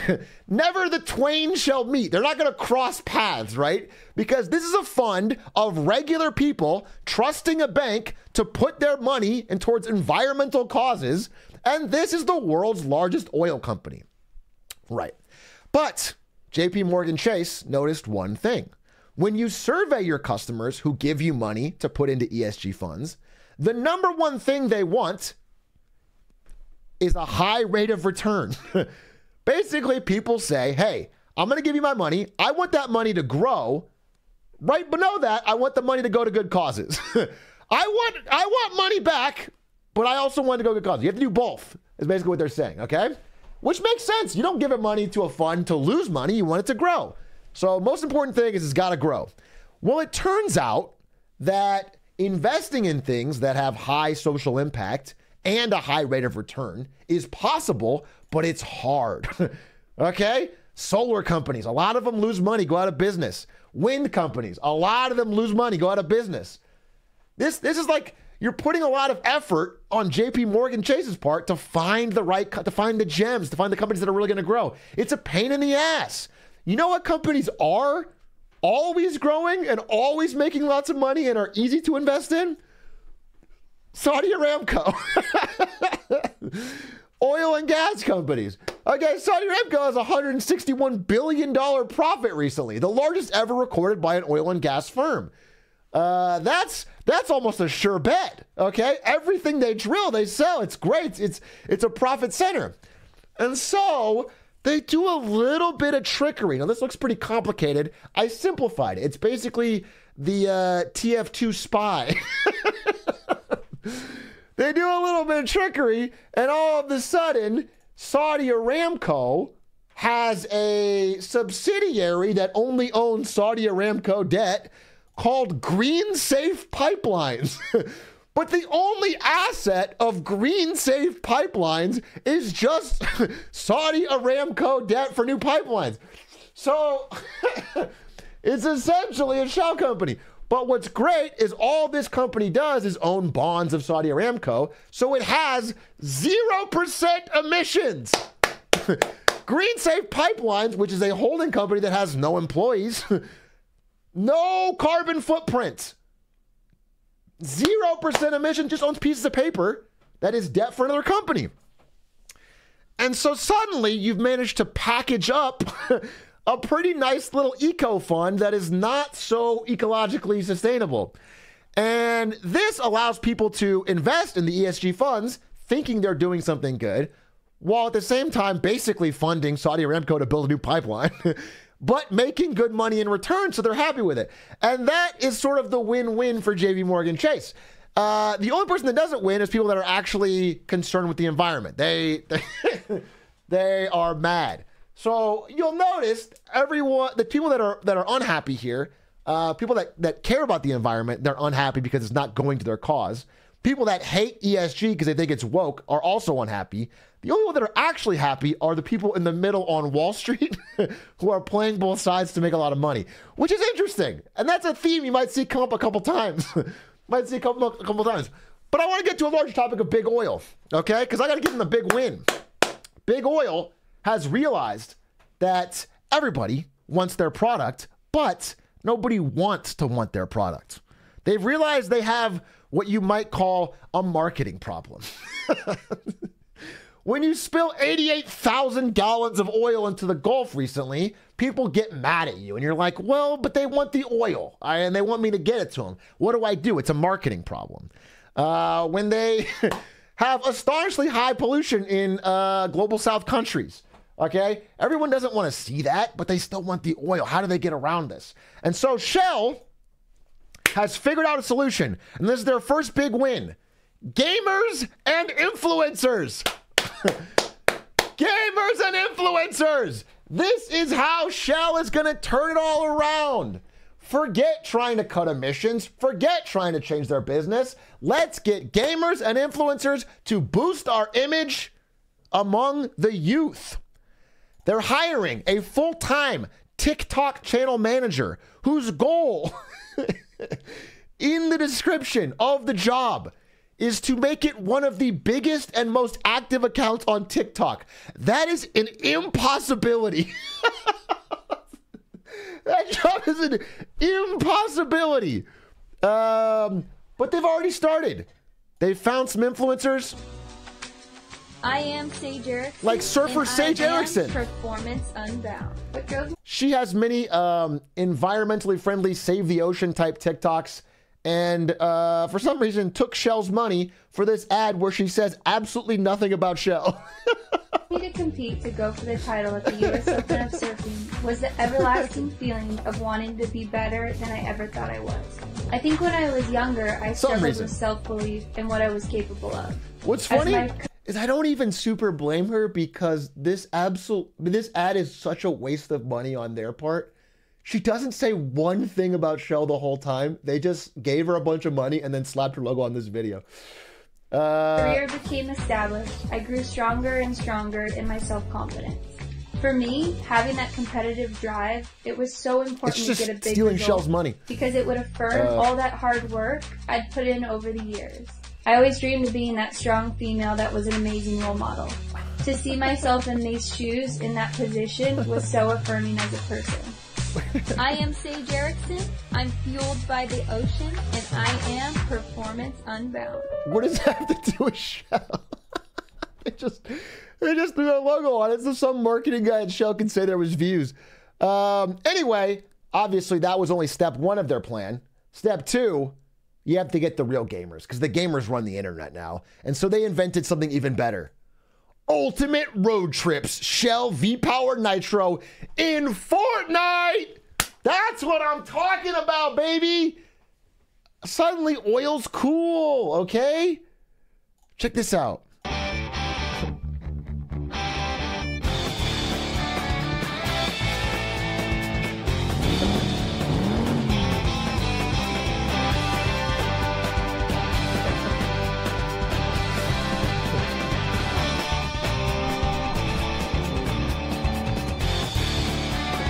Back, baby.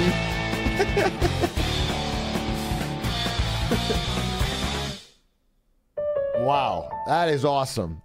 Surely the youth no longer will care about emissions. Um, and I, I'm using Shell examples the most because they spend the most. Shell by far has jumped on this trend the most of spending on TikTok and Twitch um, to try and influence the young into believing that they are, I don't know, cooler or, or better than they are. Um, Chevron, though, uh, had a pit stop at the last TwitchCon. Relax, recharge, and get rewarded when you make a trip to the Chevron Desert Pit Stop. And you might be wondering why the hell that's there. And that's because they are trying, you know, as best as they can to turn their money into positive opinion among young people on the internet. I don't know how effective any of this was. to me, this all feels like a big waste of money, but they have money to spend. Uh, I do all the things that I. Oh. I, I clearly start remembering. This is one of my favorite examples. I was looking at examples. One of my favorite examples. This is, um, I believe, Chevron is goes under a different name um, in Asia, and this is their. This is like their like Southeast Asia. It's like Philippines. This is their TikTok challenge where they um, ask people to do a rap with one certain line about them in there, and you could win prizes. This is the line. Let's see. Ah. See if you can see if you can spot the line that had to be included in this rap. I do all the things that I like to. I might just hit up a drive through, running through the city with my crew. If you wanna ride, then alright, cool. I soon as my tank hit three quarter, unless I'ma hit up the station at Caltex. Bumping my beats in my pickup, caught out a bump on the road, that's a hiccup. Always had a whip and take around me, feeling like a young rocky freaking prodigy. I will never settle for a level that is lower than the level of the dribble. When my cutter hit the metal line. Get a lot of this unstoppable journey, I can give you a lift. I ain't been out in a minute, and now I'm in it to win it, and I'ma live to my limit again and again and again, yes sir. Yes, sir. Yeah, so uh, you just had to say, as soon as my tank hit three quarters or less, I'm gonna go fill up at Caltex. And uh, yeah, that, and you can use the hashtag Caltex Unstoppable Star, and they could make some money here. This was um one of their attempts, and I think all these attempts seem pretty cringy to me, but maybe it's working. Uh, but here's the larger problem. Again, this is this is all over the summer and, and late last year. They did this this marketing campaign. Um, at first, it's like okay, they're not getting people to like them. Who cares? At the the day, you're making money. Nobody likes you. But now, finally, the fact that uh, the vast majority of young people hate the fossil fuel industry is finally catching up to them because they can't get employees. Petroleum engineering graduates continue to decline and is now at such a low level that they cannot find engineers to join their jobs. People are the, the era of high salaries is no longer enough. They're having a talent crisis where the money is just simply not enough because people are either worried about um, the environmental impact or that the jobs won't be around in 10, 20 years. So it's a bad industry to get into. So, so uh, young people are understandably nervous. And so now this is sort of a moment of desperation. Now they actually need the talent. So this stuff won't cut it. They need to put their money in more concrete efforts. And that's why they're now doing $700 million to fund research at current universities. And then, more interestingly, this old guy is trying to create uh, his own university that is like greenwashing the idea of being a petroleum engineer. It's like the university for uh, environmental sustainability engineering, but it's just rebranding the title of petroleum engineer to like sustainability resource. It's the same course with a different name so that somebody could join this job but then tell all their friends they're a sustainability engineer at Chevron or something. what a win! I love that all of their solutions involve like repackaging and rebranding and marketing rather than any actual change. That's awesome. Big dub. Speaking of a company going through some marketing times, let's talk uh, some bad marketing times. Let's talk about Boeing.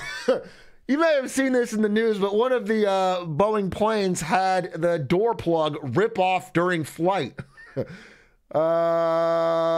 while people were in flight, this thing ripped out and uh, caused a bit of a scare. Caused a bit of a scare. This is gone. The stock did not respond well uh, to this bit of news, especially as uh, inspections of other similar planes found other like loose bolts and things like that, just bad quality control.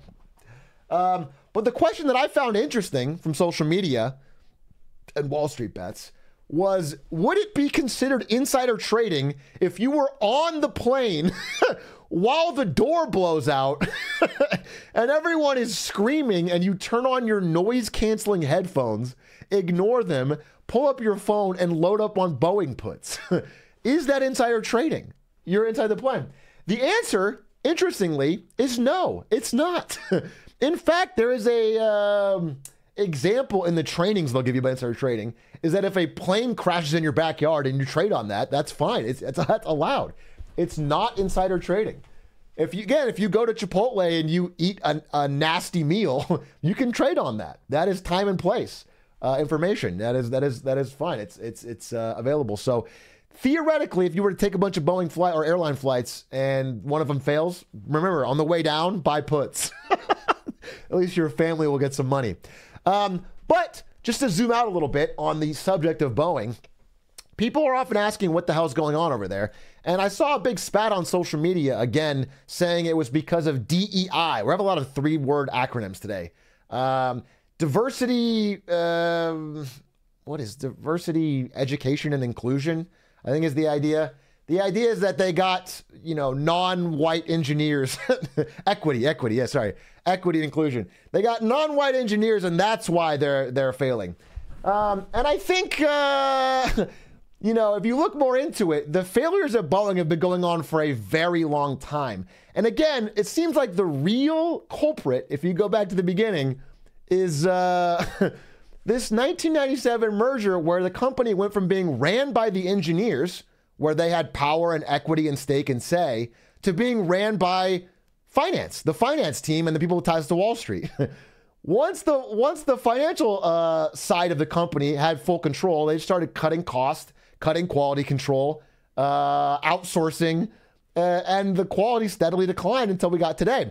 Again, there's a great example that back in um, uh, the the first Boeing 777, um, they would have all of the heads of software engineering on the test flights. That means whenever the flights would like, there was like one where the, the flight, the plane started shaking while they were flying it, and they fixed it while they were flying. If you are the head of software engineering and you're on the test flight, you're gonna make fucking sure that your team got it right, because that's fucking skin in the game. That means you are included. Nowadays, they outsource it to nine dollar an hour engineers in Indonesia. uh, it's completely outsourced to save money. Nobody from the executive staff is on the flight. So you understand the difference. Do you understand that, like, that seems to be more of the problem than DEI? It just seems like, and again, much like my earlier example of ESG, there's people on both sides that are mad, and the only people winning are the Wall Street guy in the middle who are, is walking all the way to the bank. So it's interesting. Um, but speaking of people that are not winning, and I have to give a fail here, a direct, honest fail, because people I know were impacted. Let's talk about Twitch. In the past week, an update went up on the Twitch blog called A Difficult Update About Our Workforce. This is a direct blog from CEO Dan Clancy about how they're laying off 500 plus people, many of whom I knew and worked with when I was at Twitch. Uh, out of the blue, this is one third of the company uh, right at the beginning of January. Um, and what was crazy is that these people found out they were being fired from this blog post. In fact, they found out about it from the leak of this blog post, but the day before. And I was hearing from actual people that work at Twitch that everyone there was freaking out when this stuff leaked because they didn't know if they'd have a job. This is crazy. This is an this is an awful way to let a third of your workforce know they're just going to not be out of a job. The morale there has to be absolutely shit. I do give Dan Clancy credit for what he's done recently to improve streamer to company morale. For a long time, under the last CEO, streamers felt like they had no connection at all to the management of Twitch. Dan Clancy has helped close that. But I can't imagine. So he's improved morale among streamers somewhat. He has not improved morale among employees of that company. That has got to be insane. it's got to be insanely bad morale there. Uh, I can only imagine what people are left there are going through. Uh, and I feel really bad for them. And I want to explain a little bit why this is going on from the outside. Because you might be thinking Twitch seems to be doing fine. Why are they laying off a third of their company? Here's the deal. I talked with Jarvis about this. This is me and Jarvis talking about earlier today. Let me explain what sort of I summarized in this in the article. The Eye of Sauron, that is Amazon, looks at all the companies it owns with a burning gaze.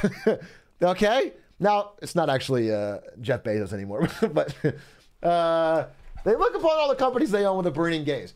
And they want to see one of two things. Either there's massive user growth, and then you're allowed to have low profits. If Twitch was growing rapidly and there was you know millions more views every quarter and everything was getting bigger, they're like, okay, we can figure out profitability later. You can lose money while you're growing. Or on the other side, if users were flat, but you were making more and more money per user, let's say people were using bits more or watching more ads or subscribing more. If, if you were getting revenue growth, that's great. That's fine. You don't have to grow as a company as long as you're making more money. Twitch is doing neither. Twitch has flat users since 2021 and declining profits since 2021, which means which means the eye of Amazon is heavily upon them. Because not only is all of this down, again, this is look, this is Twitch's concurrent viewers in 2023, down from 2022, uh, which is barely 21. Um, COVID carried. Uh, and basically what I'm saying is my experience from working at Twitch uh, is that the management of Twitch didn't really understand their product. And they got lucky twice. They won the lottery twice. First, when Ninja played Fortnite with Drake. when that happened, it massively boosted Twitch's numbers. Uh, and there was a huge Fortnite explosion, and a lot of people got into Twitch, and it caused a big ex- Twitch explosion. This was not a product Twitch did. Twitch did not help set this up. They did not make something new for it. This just got lucky, and this helped carry them for a whole year. And then, right as that started to die, they got lucky again with a global pandemic that forced everyone into their homes to watch Twitch. okay? These two things have carried Twitch for the past four to five years now without them making any good products outside of maybe clips. clips is like the last big Twitch feature that actually helped anything. And so all of this is finally catching up to them to the point where they have to figure out how are they going to keep this site growing because really it just seems like unless they get lucky this thing slowly trends down um, what will happen next i don't know but i can tell you that dan clancy and the team at twitch if they won't say it but are kind of hoping someone starts coughing in china pretty soon they are hoping something happens to turn their fortunes around because amazon is getting more and more unhappy uh uh, speaking of happiness, though, let's talk about a happy ending and give a win to Tiger Woods. Tiger Woods and Nike have parted ways after 27 years. And Nike gave a really nice going away post here. It was a hell of a round, Tiger. Um, this may not seem that interesting to you, but if you look at it, it is from a marketing POV, it is one of the single greatest brand athlete pairings of all time. Um, they created some of the best uh, combinations. I mean, they, they, they, they, they promoted the sport of golf together on a massive level. And Tiger Woods, who has a net worth of $1.1 billion, made over half of that just from Nike. Uh, 40 million over five years in 1996. Then they renewed for 100 million over five years in 2001. Then they renewed for 240 million over eight years in 2006. Then they renewed for 200 million over 10 years in 2014. He's been going back and forth with Nike for his entire career 27 years, millions and millions and millions of dollars. And you'd think shoveling half a billion dollars at him wouldn't be worth it for Nike, but it absolutely was. they profited even more than this. Uh, and the success of both of them helped grow the sport, which is pretty cool. I looked over the long, long history of uh, Ti- Tiger Woods and Nike commercials and decided this one was the best. this one was the all time great. It's extremely simple. It's a one take, unbroken shot of Tiger Woods doing something that like no one else could do. Got it across. The ad crushed. It's got millions of views from back in 15 years ago. Um, and all of that helped was incredibly beneficial for Nike Golf. But it was what he did when he wasn't um, in ads that was even better for Nike. This is why you pay him all the time, not just for the commercials. Uh, this moment was probably worth more for them than anything they've ever paid for. There's a good chance he doesn't get this inside the Monte ball.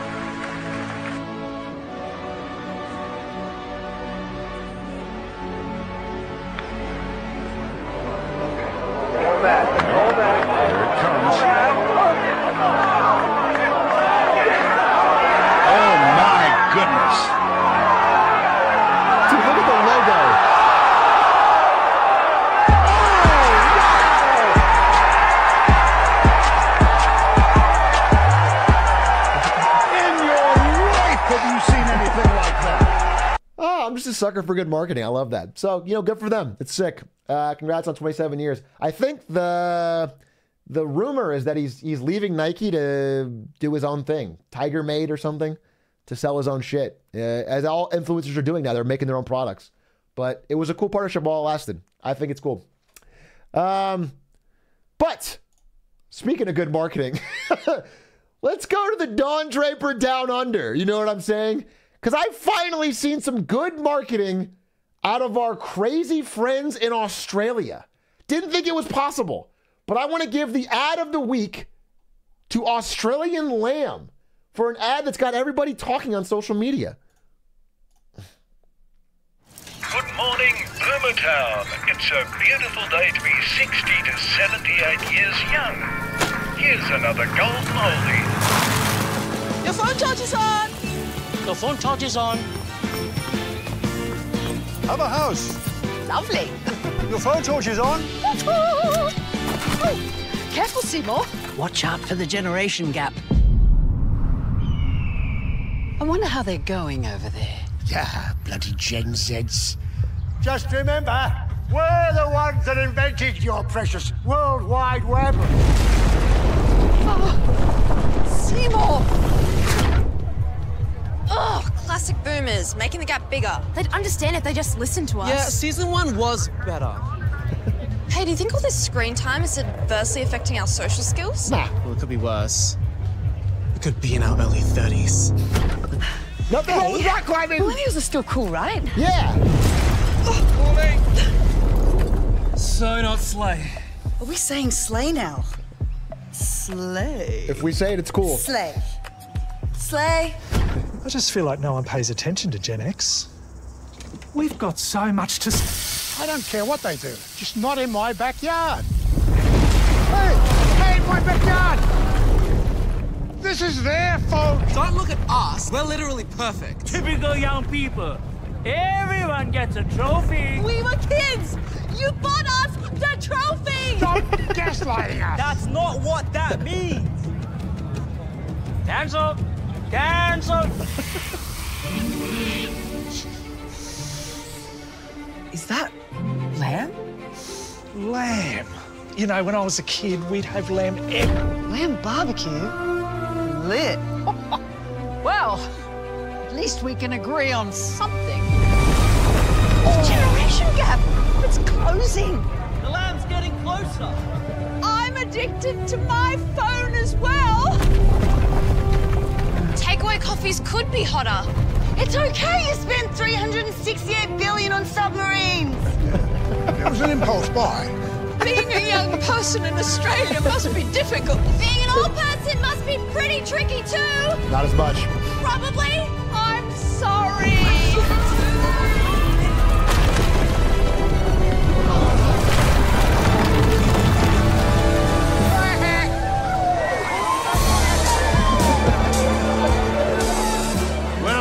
It's a barbecue for the ages. Who's that? Oh, it's John Howard. Oh. Who's that? Good to have the country back together. We weren't ever that far apart, sweetheart. Anyway, as you can see, that ad's shareable. It's viral. It's funny. It's built for the internet, and it's cute. And you know what? It did really, really, really well. Got people talking. And so, if you're the Australian Lamb uh, marketing agency and you managed to get an ad that goes viral outside of Australia, you did something right. That's crazy. Because no one should care about this product. I shouldn't be watching their ad. This should be playing on some TV. Um, so, uh, anyway, impressive. Good job. I give it a win. That's my marketing ad of the week. W. Um, but the real winners were not any generation at all. The real winners of this past week were the lawyers. the ones you guys like. The lawyers won this past week because we had a whole fuck ton. Sorry, pardon my language. Edit that out. A whole bunch of lawsuits, uh, including one of the largest AI lawsuits in history, as the New York Times openly accuses OpenAI of stealing all of their stories going back to the 1800s, basically like almost 200 years of stories, and using them as training data for what they're creating. And New York Times is one of the few organizations big enough, not a tech company, and getting ripped off by this, that can actually put some muscle behind this lawsuit.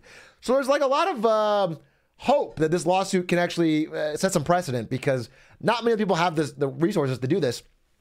And uh, they are suing OpenAI and Microsoft for billions of dollars as they have found concrete evidence that you could ask uh, the AI chatbot about uh, recent topics and it will just literally take stuff verbatim from their articles. Uh, so it's like they got proof of that before they went to the lawsuit, and that's it's pretty impressive, and will be a tough thing for Microsoft and OpenAI to counter. We'll see how that goes. Uh, they have pretty solid legal team. Oh, sorry, yeah. generate verbatim excerpts from New York Times articles. Again, and the New York Times stuff is behind a paywall, which means OpenAI is stealing. I mean, they're just stealing stuff that isn't even free. They're like taking stuff from behind a paywall and then making it verbatim available, which is like not allowed. I mean, that's like not uh, going to be possible. So we will see how the lawsuit goes, but it's interesting. It's a very precedent-setting lawsuit that's going to. Uh, again, last year was kind of the year of unregulated AI expansion, tons of new entrants and startups and businesses, um, and people are react. Companies are reacting quicker than they did to like streaming and other things like that. Companies are reacting pretty quick to try and figure out what this means for them and whether they're going to get disrupted, by it. So, interesting.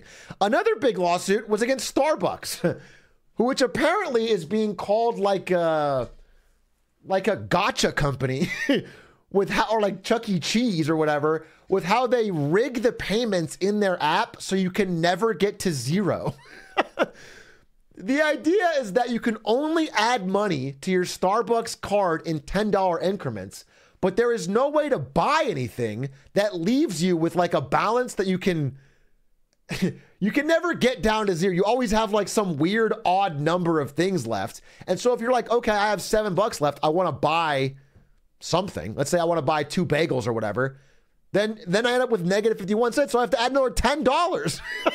Do you understand? Like it's it's just annoying. At the end of the day, you go down to like two bucks and forget about it. But if you want to get all of your money out, there's like no way to do it. There's no way to spend it all. And so while that's not a major deal in the grand scheme of things, it's kind of generally annoying to a lot of people. so many people that Starbucks has $900 million just sitting in fallow accounts. Nine, that's, that's like a free loan from consumers to Starbucks of $900 million. And so at the end of the day, it's to something where it's like people want that money back. Collectively, they want that money back. Um, and that's what this lawsuit is going to. Gonna, we'll we'll follow up on this. We don't know how it's going to go, but that is a major lawsuit this week. And then finally, uh, a lawsuit victory. There was a class action lawsuit against Apple uh, because they had been slowing down or weakening the batteries of old phones so you buy the new phones. They were just doing that. That's confirmed. And customers sued them and won in a class action. Um, and so they're sending out checks. If you were part of this Battery Gate lawsuit, you're going to get some sort of check uh, over battery, battery throttling. And this is just the beginning because it's looking like the United States is getting closer and closer to doing a sweeping full antitrust case against Apple for basically locking down every single thing they do into their own ecosystem. So it's like very hard to use like Apple earbuds on a, on a non-Apple phone. It's hard to use. You have to use Apple chargers. You have to use Apple dongles. You have to use Apple connections. If you have an Apple credit card account, you can never switch. Like anything you use, you have to, you're locked into one system. And so the United States is trying to break that up and make it more easy to have interoperability. Is the idea. Um, so you can use just one of the pieces you want instead of having to use all of them to to compete. To have to use all of these in one ecosystem. Uh, interesting. That is a tech fail for Apple, but there is one person in the tech industry who had a big win this past week. and that's my man, Mark Robot Zuckerberg, who posted unprompted during a time of difficult economic turmoil for the average person that he has a brand new ranch because he thought Wagyu beef wasn't good enough. so he wanted to get even higher quality beef on his own ranch. So he's going to feed 10,000 pounds of macadamia nuts to his own beef that he kills himself. I thought his reaction was so funny. The absolute stones it must take to post I'm growing a macadamia orchard to feed my artisan wagyu during an era of rising populism. It truly is an unparalleled flex. it's so it is so distant from what the average person could ever experience that it's almost like, all right, go off, King. I mean, that is a cooler flex than a fucking Ferrari or something, man. he's, got his own fucking farm ranch for beef. It's crazy. Um, a billionaire who may also have had a based week, Elon Musk, because a story dropped that he uses LSD, cocaine, ecstasy, mushrooms, and ketamine. They interviewed board members at Tesla and SpaceX and employees that basically said it's an open secret that he uses all of these drugs. Um, they're afraid to talk about it. Uh, so they just say in the article, it's really funny. They always say, like, has he been getting enough sleep? and that's their hint. they talk about him as, as being sleepy. that's that's their they, they when they're when they're referring to each other whether or not he's like out for the day because of drug use, it's because he's he didn't get enough sleep. Anyway, um, we obviously knew he took a puff of weed every now and then, but I wasn't personally aware of the level of ketamine use that is at least alleged in this article, uh, based on interviews with people that have worked with him. Um, all that being said, though, uh, to me, it's not. How do I say this? It's funny, but I don't care. you know what I'm saying? Like, there's things to criticize Elon on, but he could he could easily be good at his job and do cat or LSD or cocaine. It's, not. It's, it's it's. I think it's hilarious, but it's not a problem. I don't think it's like something I would ever bash him over. So he didn't deny it. He said TMZ has higher standards than the Wall Street Journal, but he also said, uh, you know, if drugs did improve my productivity over time, I would definitely take them. Which is like, you know, it's like I didn't do it, but if I did, it'd be fine. You know what I'm saying? It's like, all right, we get it. Hypothetically, you know, it's not, it's not a big deal, bro. If you use the cat, it's fine. Um, but what I would be more worried about, again, they talk about in this article, I think they kind of fear monger a bit in this article about how, like, oh, well, it's against Tesla's policies. SpaceX policies on drug use. It's like, all right, bro. Well, he's the CEO, and he the companies are growing. So what are you going to do? I think if you're an investor, the more thing you'd be worried about is that the stock has been flat to down for six months, and there was a video back in 2011 which is remarkably relevant now. Let's take a look at this. Although there's competitors now ramping up, and Yeah. as you're familiar with BYD, which is also on the West Coast, I think they're ramping up production of their electric vehicles. Uh, Warren Buffett owns 10% stake in that. Uh, why do you laugh? BYD is trying to compete. Why do you laugh? Have you seen their car? I have seen their cars. Yes, in fact, at the Berkshire Hathaway meeting, I saw their cars. Yeah. Well, they are on a different. They're on a different. Tell me why you're laughing. Um, You don't see them at all as a competitor. no. Why is that? I mean, they offer a lower price point. I, I don't. Th- I don't think they have a great product. Why is that? Um, I, I don't think it's, it's particularly attractive. The technology is, is not very strong. Um, and, and BYD as a company has pretty severe problems in their home turf in China. Right. Uh, so I, I think they, th- their focus is and rightly should be on making sure they don't die in China. Okay. What about for you? He seemed very confident laughing at BYD in that interview. But unfortunately, 13 years later, Tesla was just passed by China's BYD as the world's biggest producer of electric vehicles. They did not die in China. And as of fourth quarter 2023, uh, the Chinese rival finally sold more uh, uh, pure electric EVs than Tesla.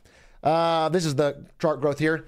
Um, and again, Tesla, uh, while this is not great for them to have the lost their world leadership position in electric vehicle sales, is at least it's still a globally recognizable good brand that's selling many cars. Uh, the third place, Volkswagen, is just getting crushed here. They're getting crushed. I mean, it is becoming China, Tesla, and nobody else for electric vehicles um, when when it comes to uh, EVs. So anyway, Musk once laughed off BYD as a threat. Now the Chinese giant has taken Tesla's Tesla's EV crown. And the real story of this has been uh, BYD's shockingly low prices. They're able to get um, relatively good cars at shockingly low prices. And so, for consumers that want to adopt a cheap EV, they've been crushing. Again, you can see some of the BYD uh, lineup here. Uh, their lowest end model, $13,000. 13K for a functioning EV is crazy. That's crazy. And the reason we don't have these in the United States, uh, because again, nobody, oh, I'm sorry. Whoa, whoa, whoa, whoa, whoa. Um, nobody can match BYD on price is because we have a tariff.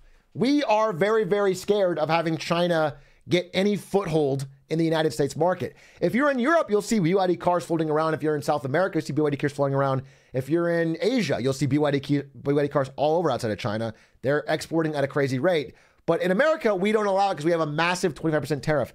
That being said, the price differential is so great that these cars with a 25% tariff on top of them are still the cheapest car, the cheapest EVs available.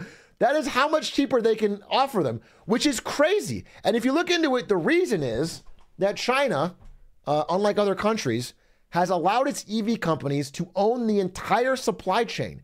BYD owns the the mines where they get the raw materials. They own the battery factories.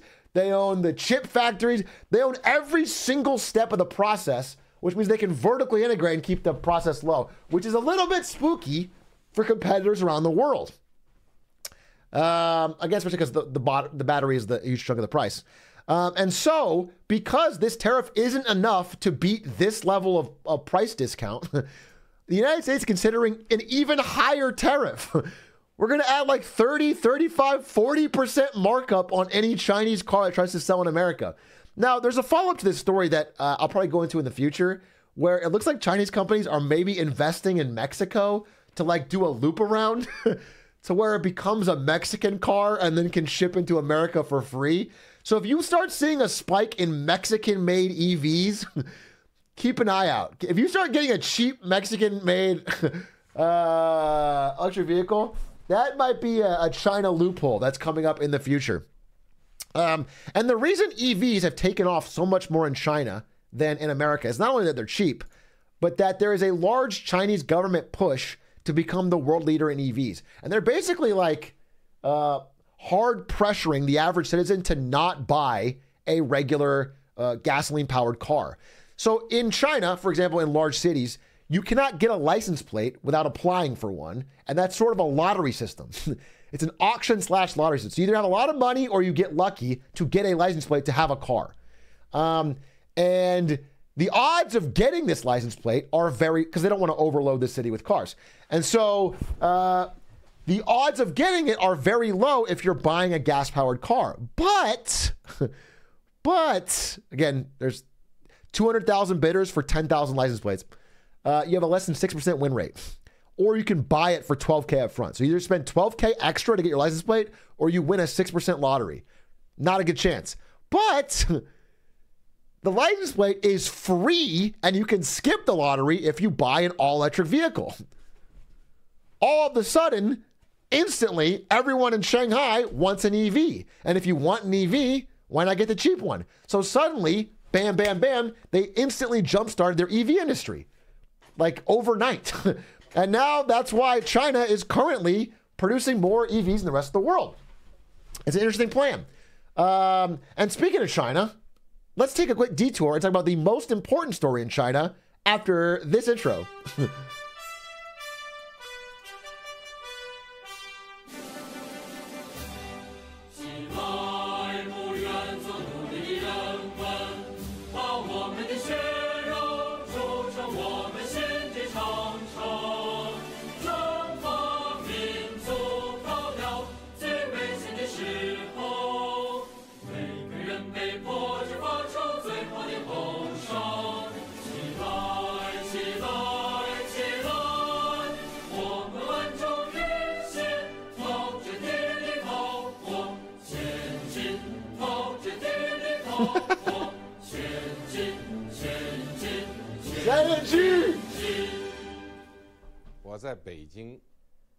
What is up, Beijing? There's only one story that matters right now in Beijing. And in fact, we should rename the segment Oh Hey Taipei.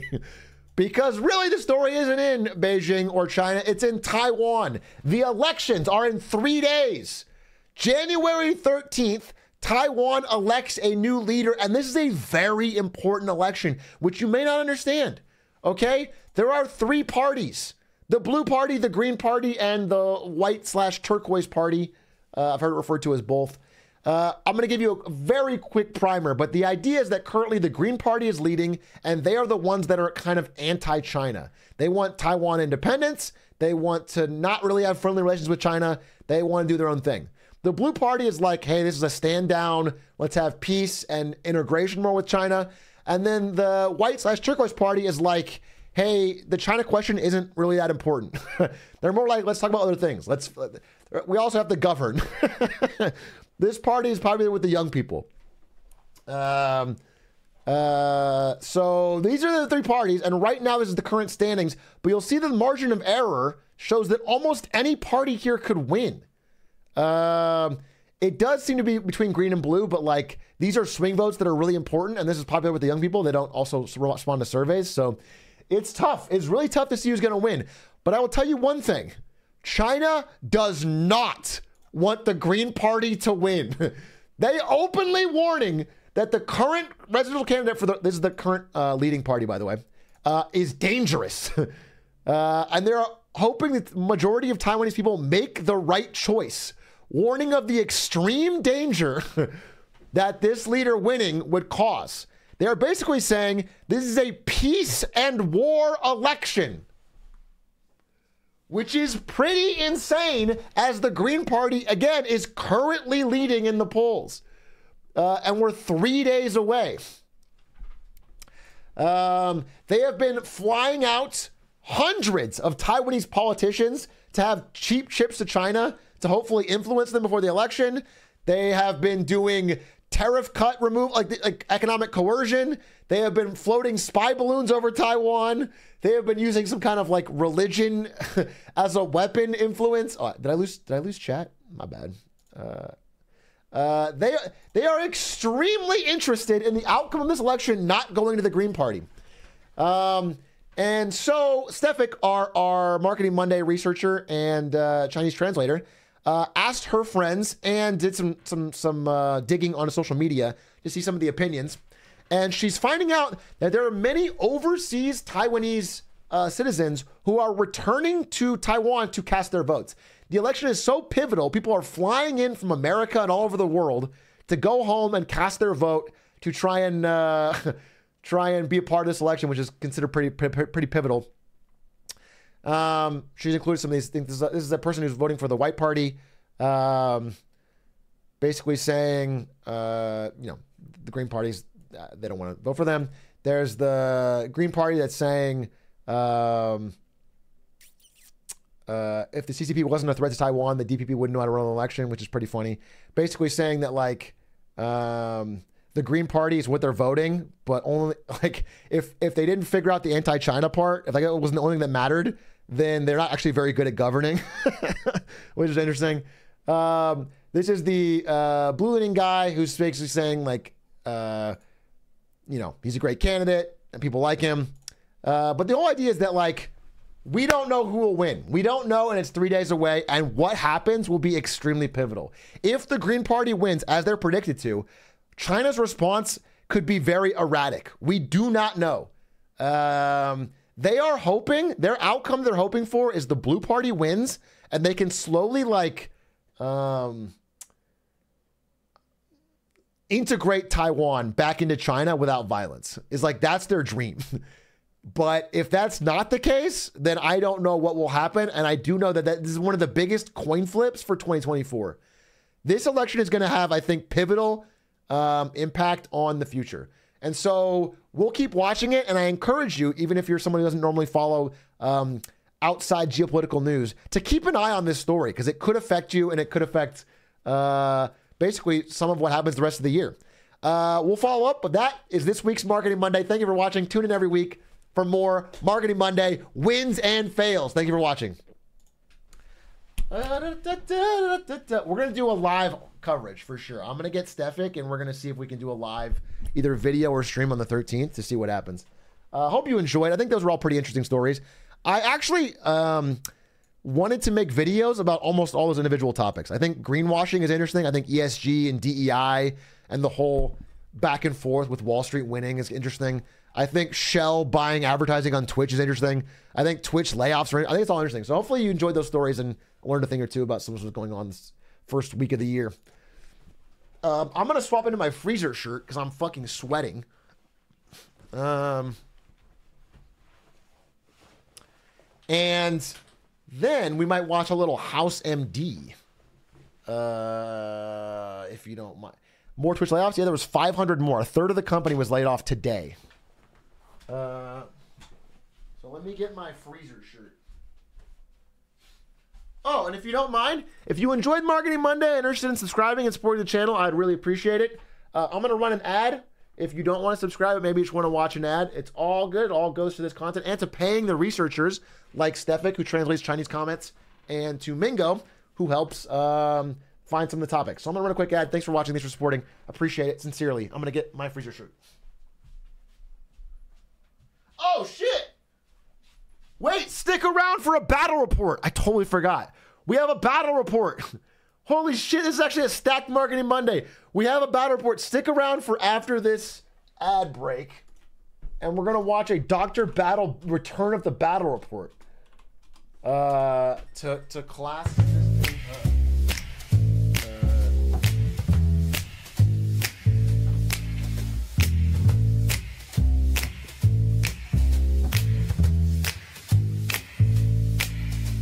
It's feeding time for Daddy Bezos. Sacrifice the poor and unsubscribe. While they watch their advertisements, we'll kill some time and pretend to care that they can't see this. God, they're suckers, they all forgot to sub again. Oh, Streamers need your money, so cough it up, cause they're our friends. It's so cold. Rent's not even that expensive. Wait, it's Student actually debt's not a chilly. financial drain. It's actually a chilly There's shirt. no excuse for not subscribing. shirt, baby. Which is a oh crime my much God, worse I than backwards. murdering. Still on an ad break. Stop the presses. These Holy fools moly. forgot to sub again. Streamers need your money, so cough it up because they're our friends. Everybody can get five bucks. Okay. Just don't waste All right. Uh, so here's the deal. Here's the tea. Um, is the freezer shirt becoming unironic? A hundred percent. I recommend it. if you are hot, put it, pop a shirt in the freezer. Pop a shirt in the freezer, and then put that on later. It instantly cools your body. It feels great. You have to try it. the shirt isn't damaged; it's just cold. Freezer shirt. It's it's fucking excellent. Uh, that psychopath behavior. Try it. I hated it. I I I yelled at the guy who suggested it, and then I tried it, and now I love it. Wet? How is it wet? It's just cold. It's just a cold shirt. It's not wet. Uh, haters don't know. haters don't know, bro. Freezer shirt's crazy. It still feels good.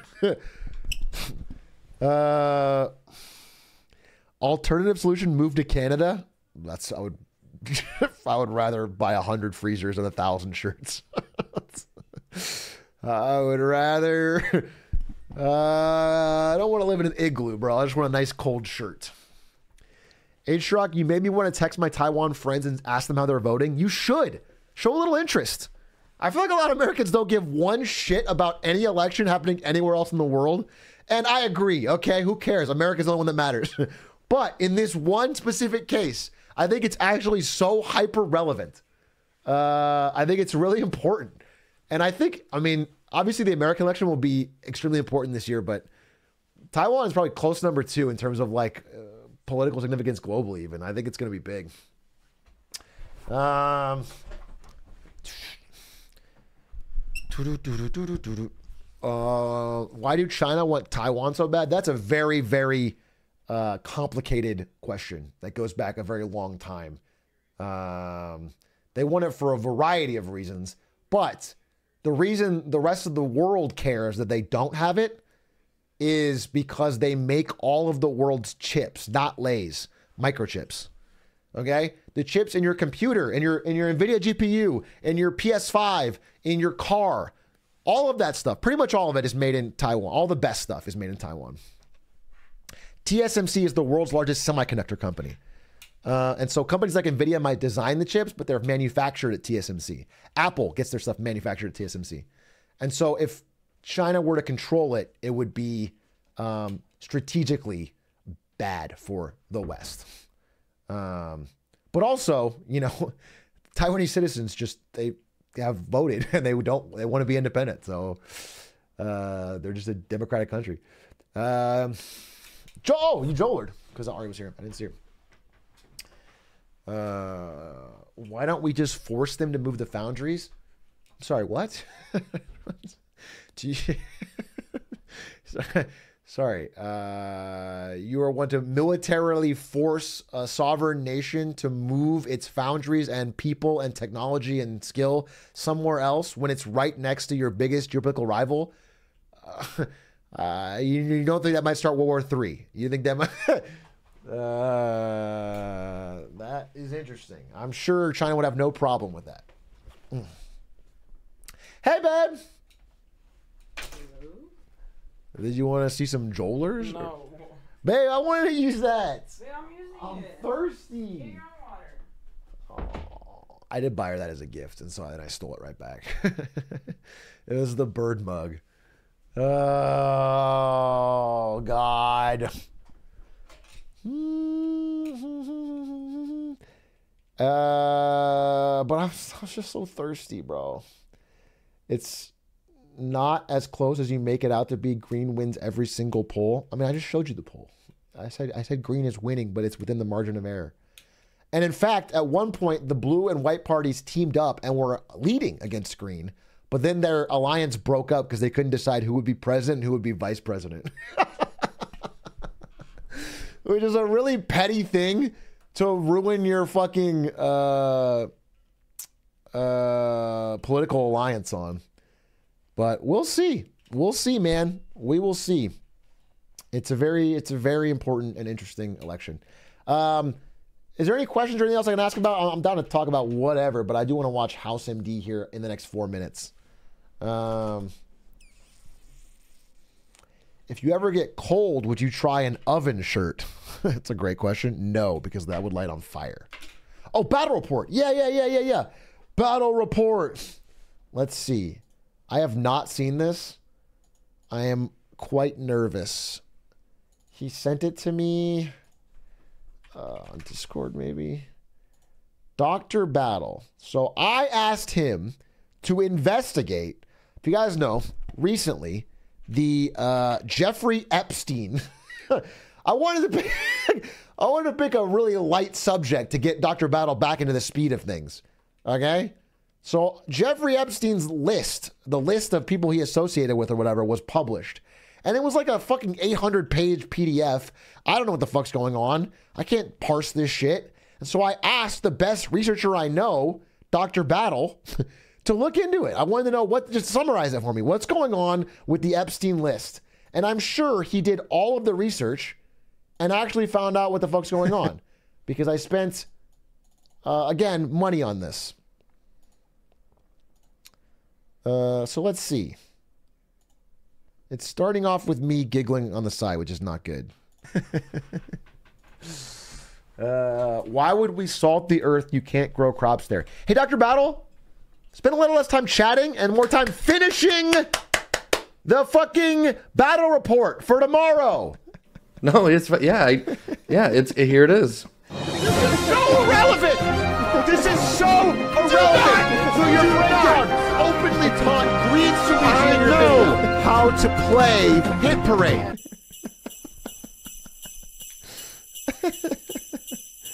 God, wait, wait a second. A little late. Happy New Year to you, Atrioc, and to chat, and welcome to the Battle Report. Okay. I'm very excited to kick off this year of Battle Reports with a great one for you. I couldn't wait to see what Atrioc had in store for me. Uh huh.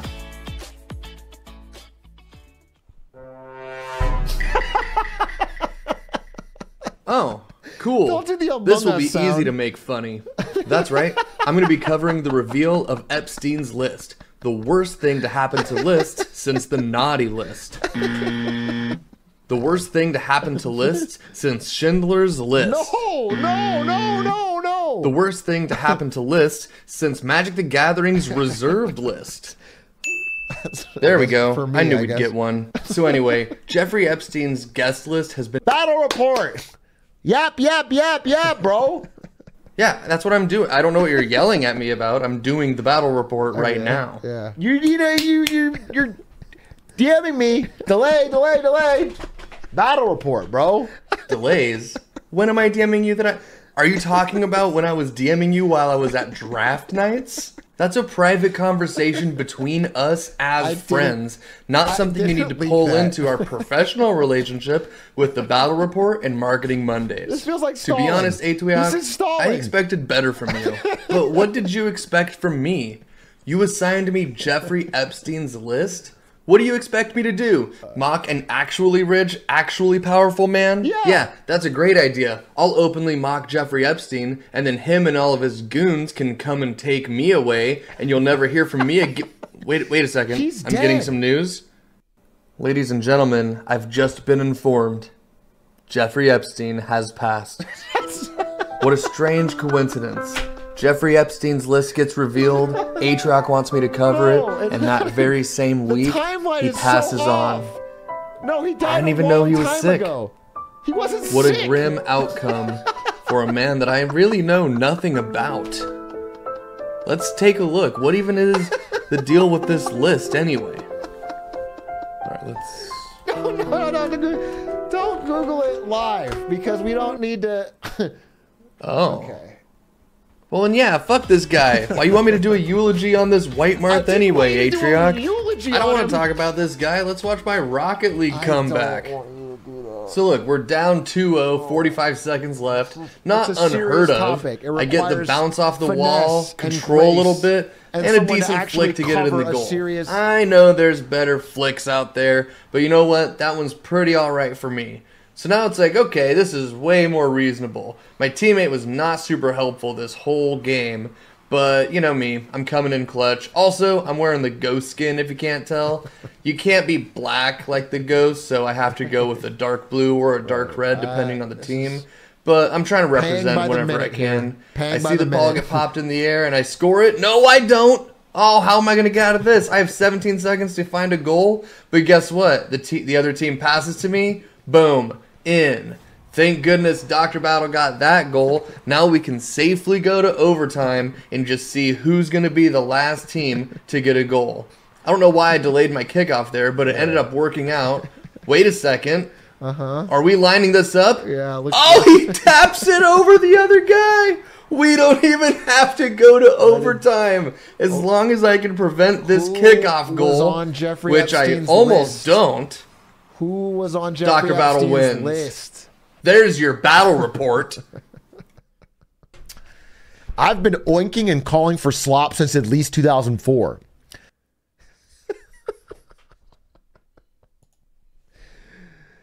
Thank you to Dr. Battle for another edition of the Battle Report in 2024. Hope you all feel more informed about the world around you and the breaking news of the day. Jeffrey Epstein is indeed dead.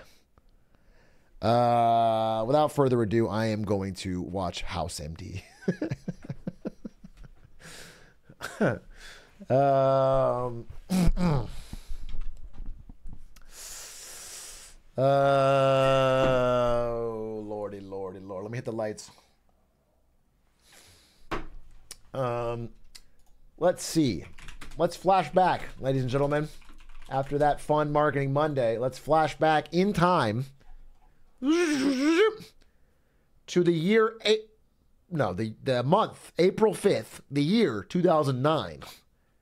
Uh, apparently, there is a warning on this episode that it deals with suicide of some sort.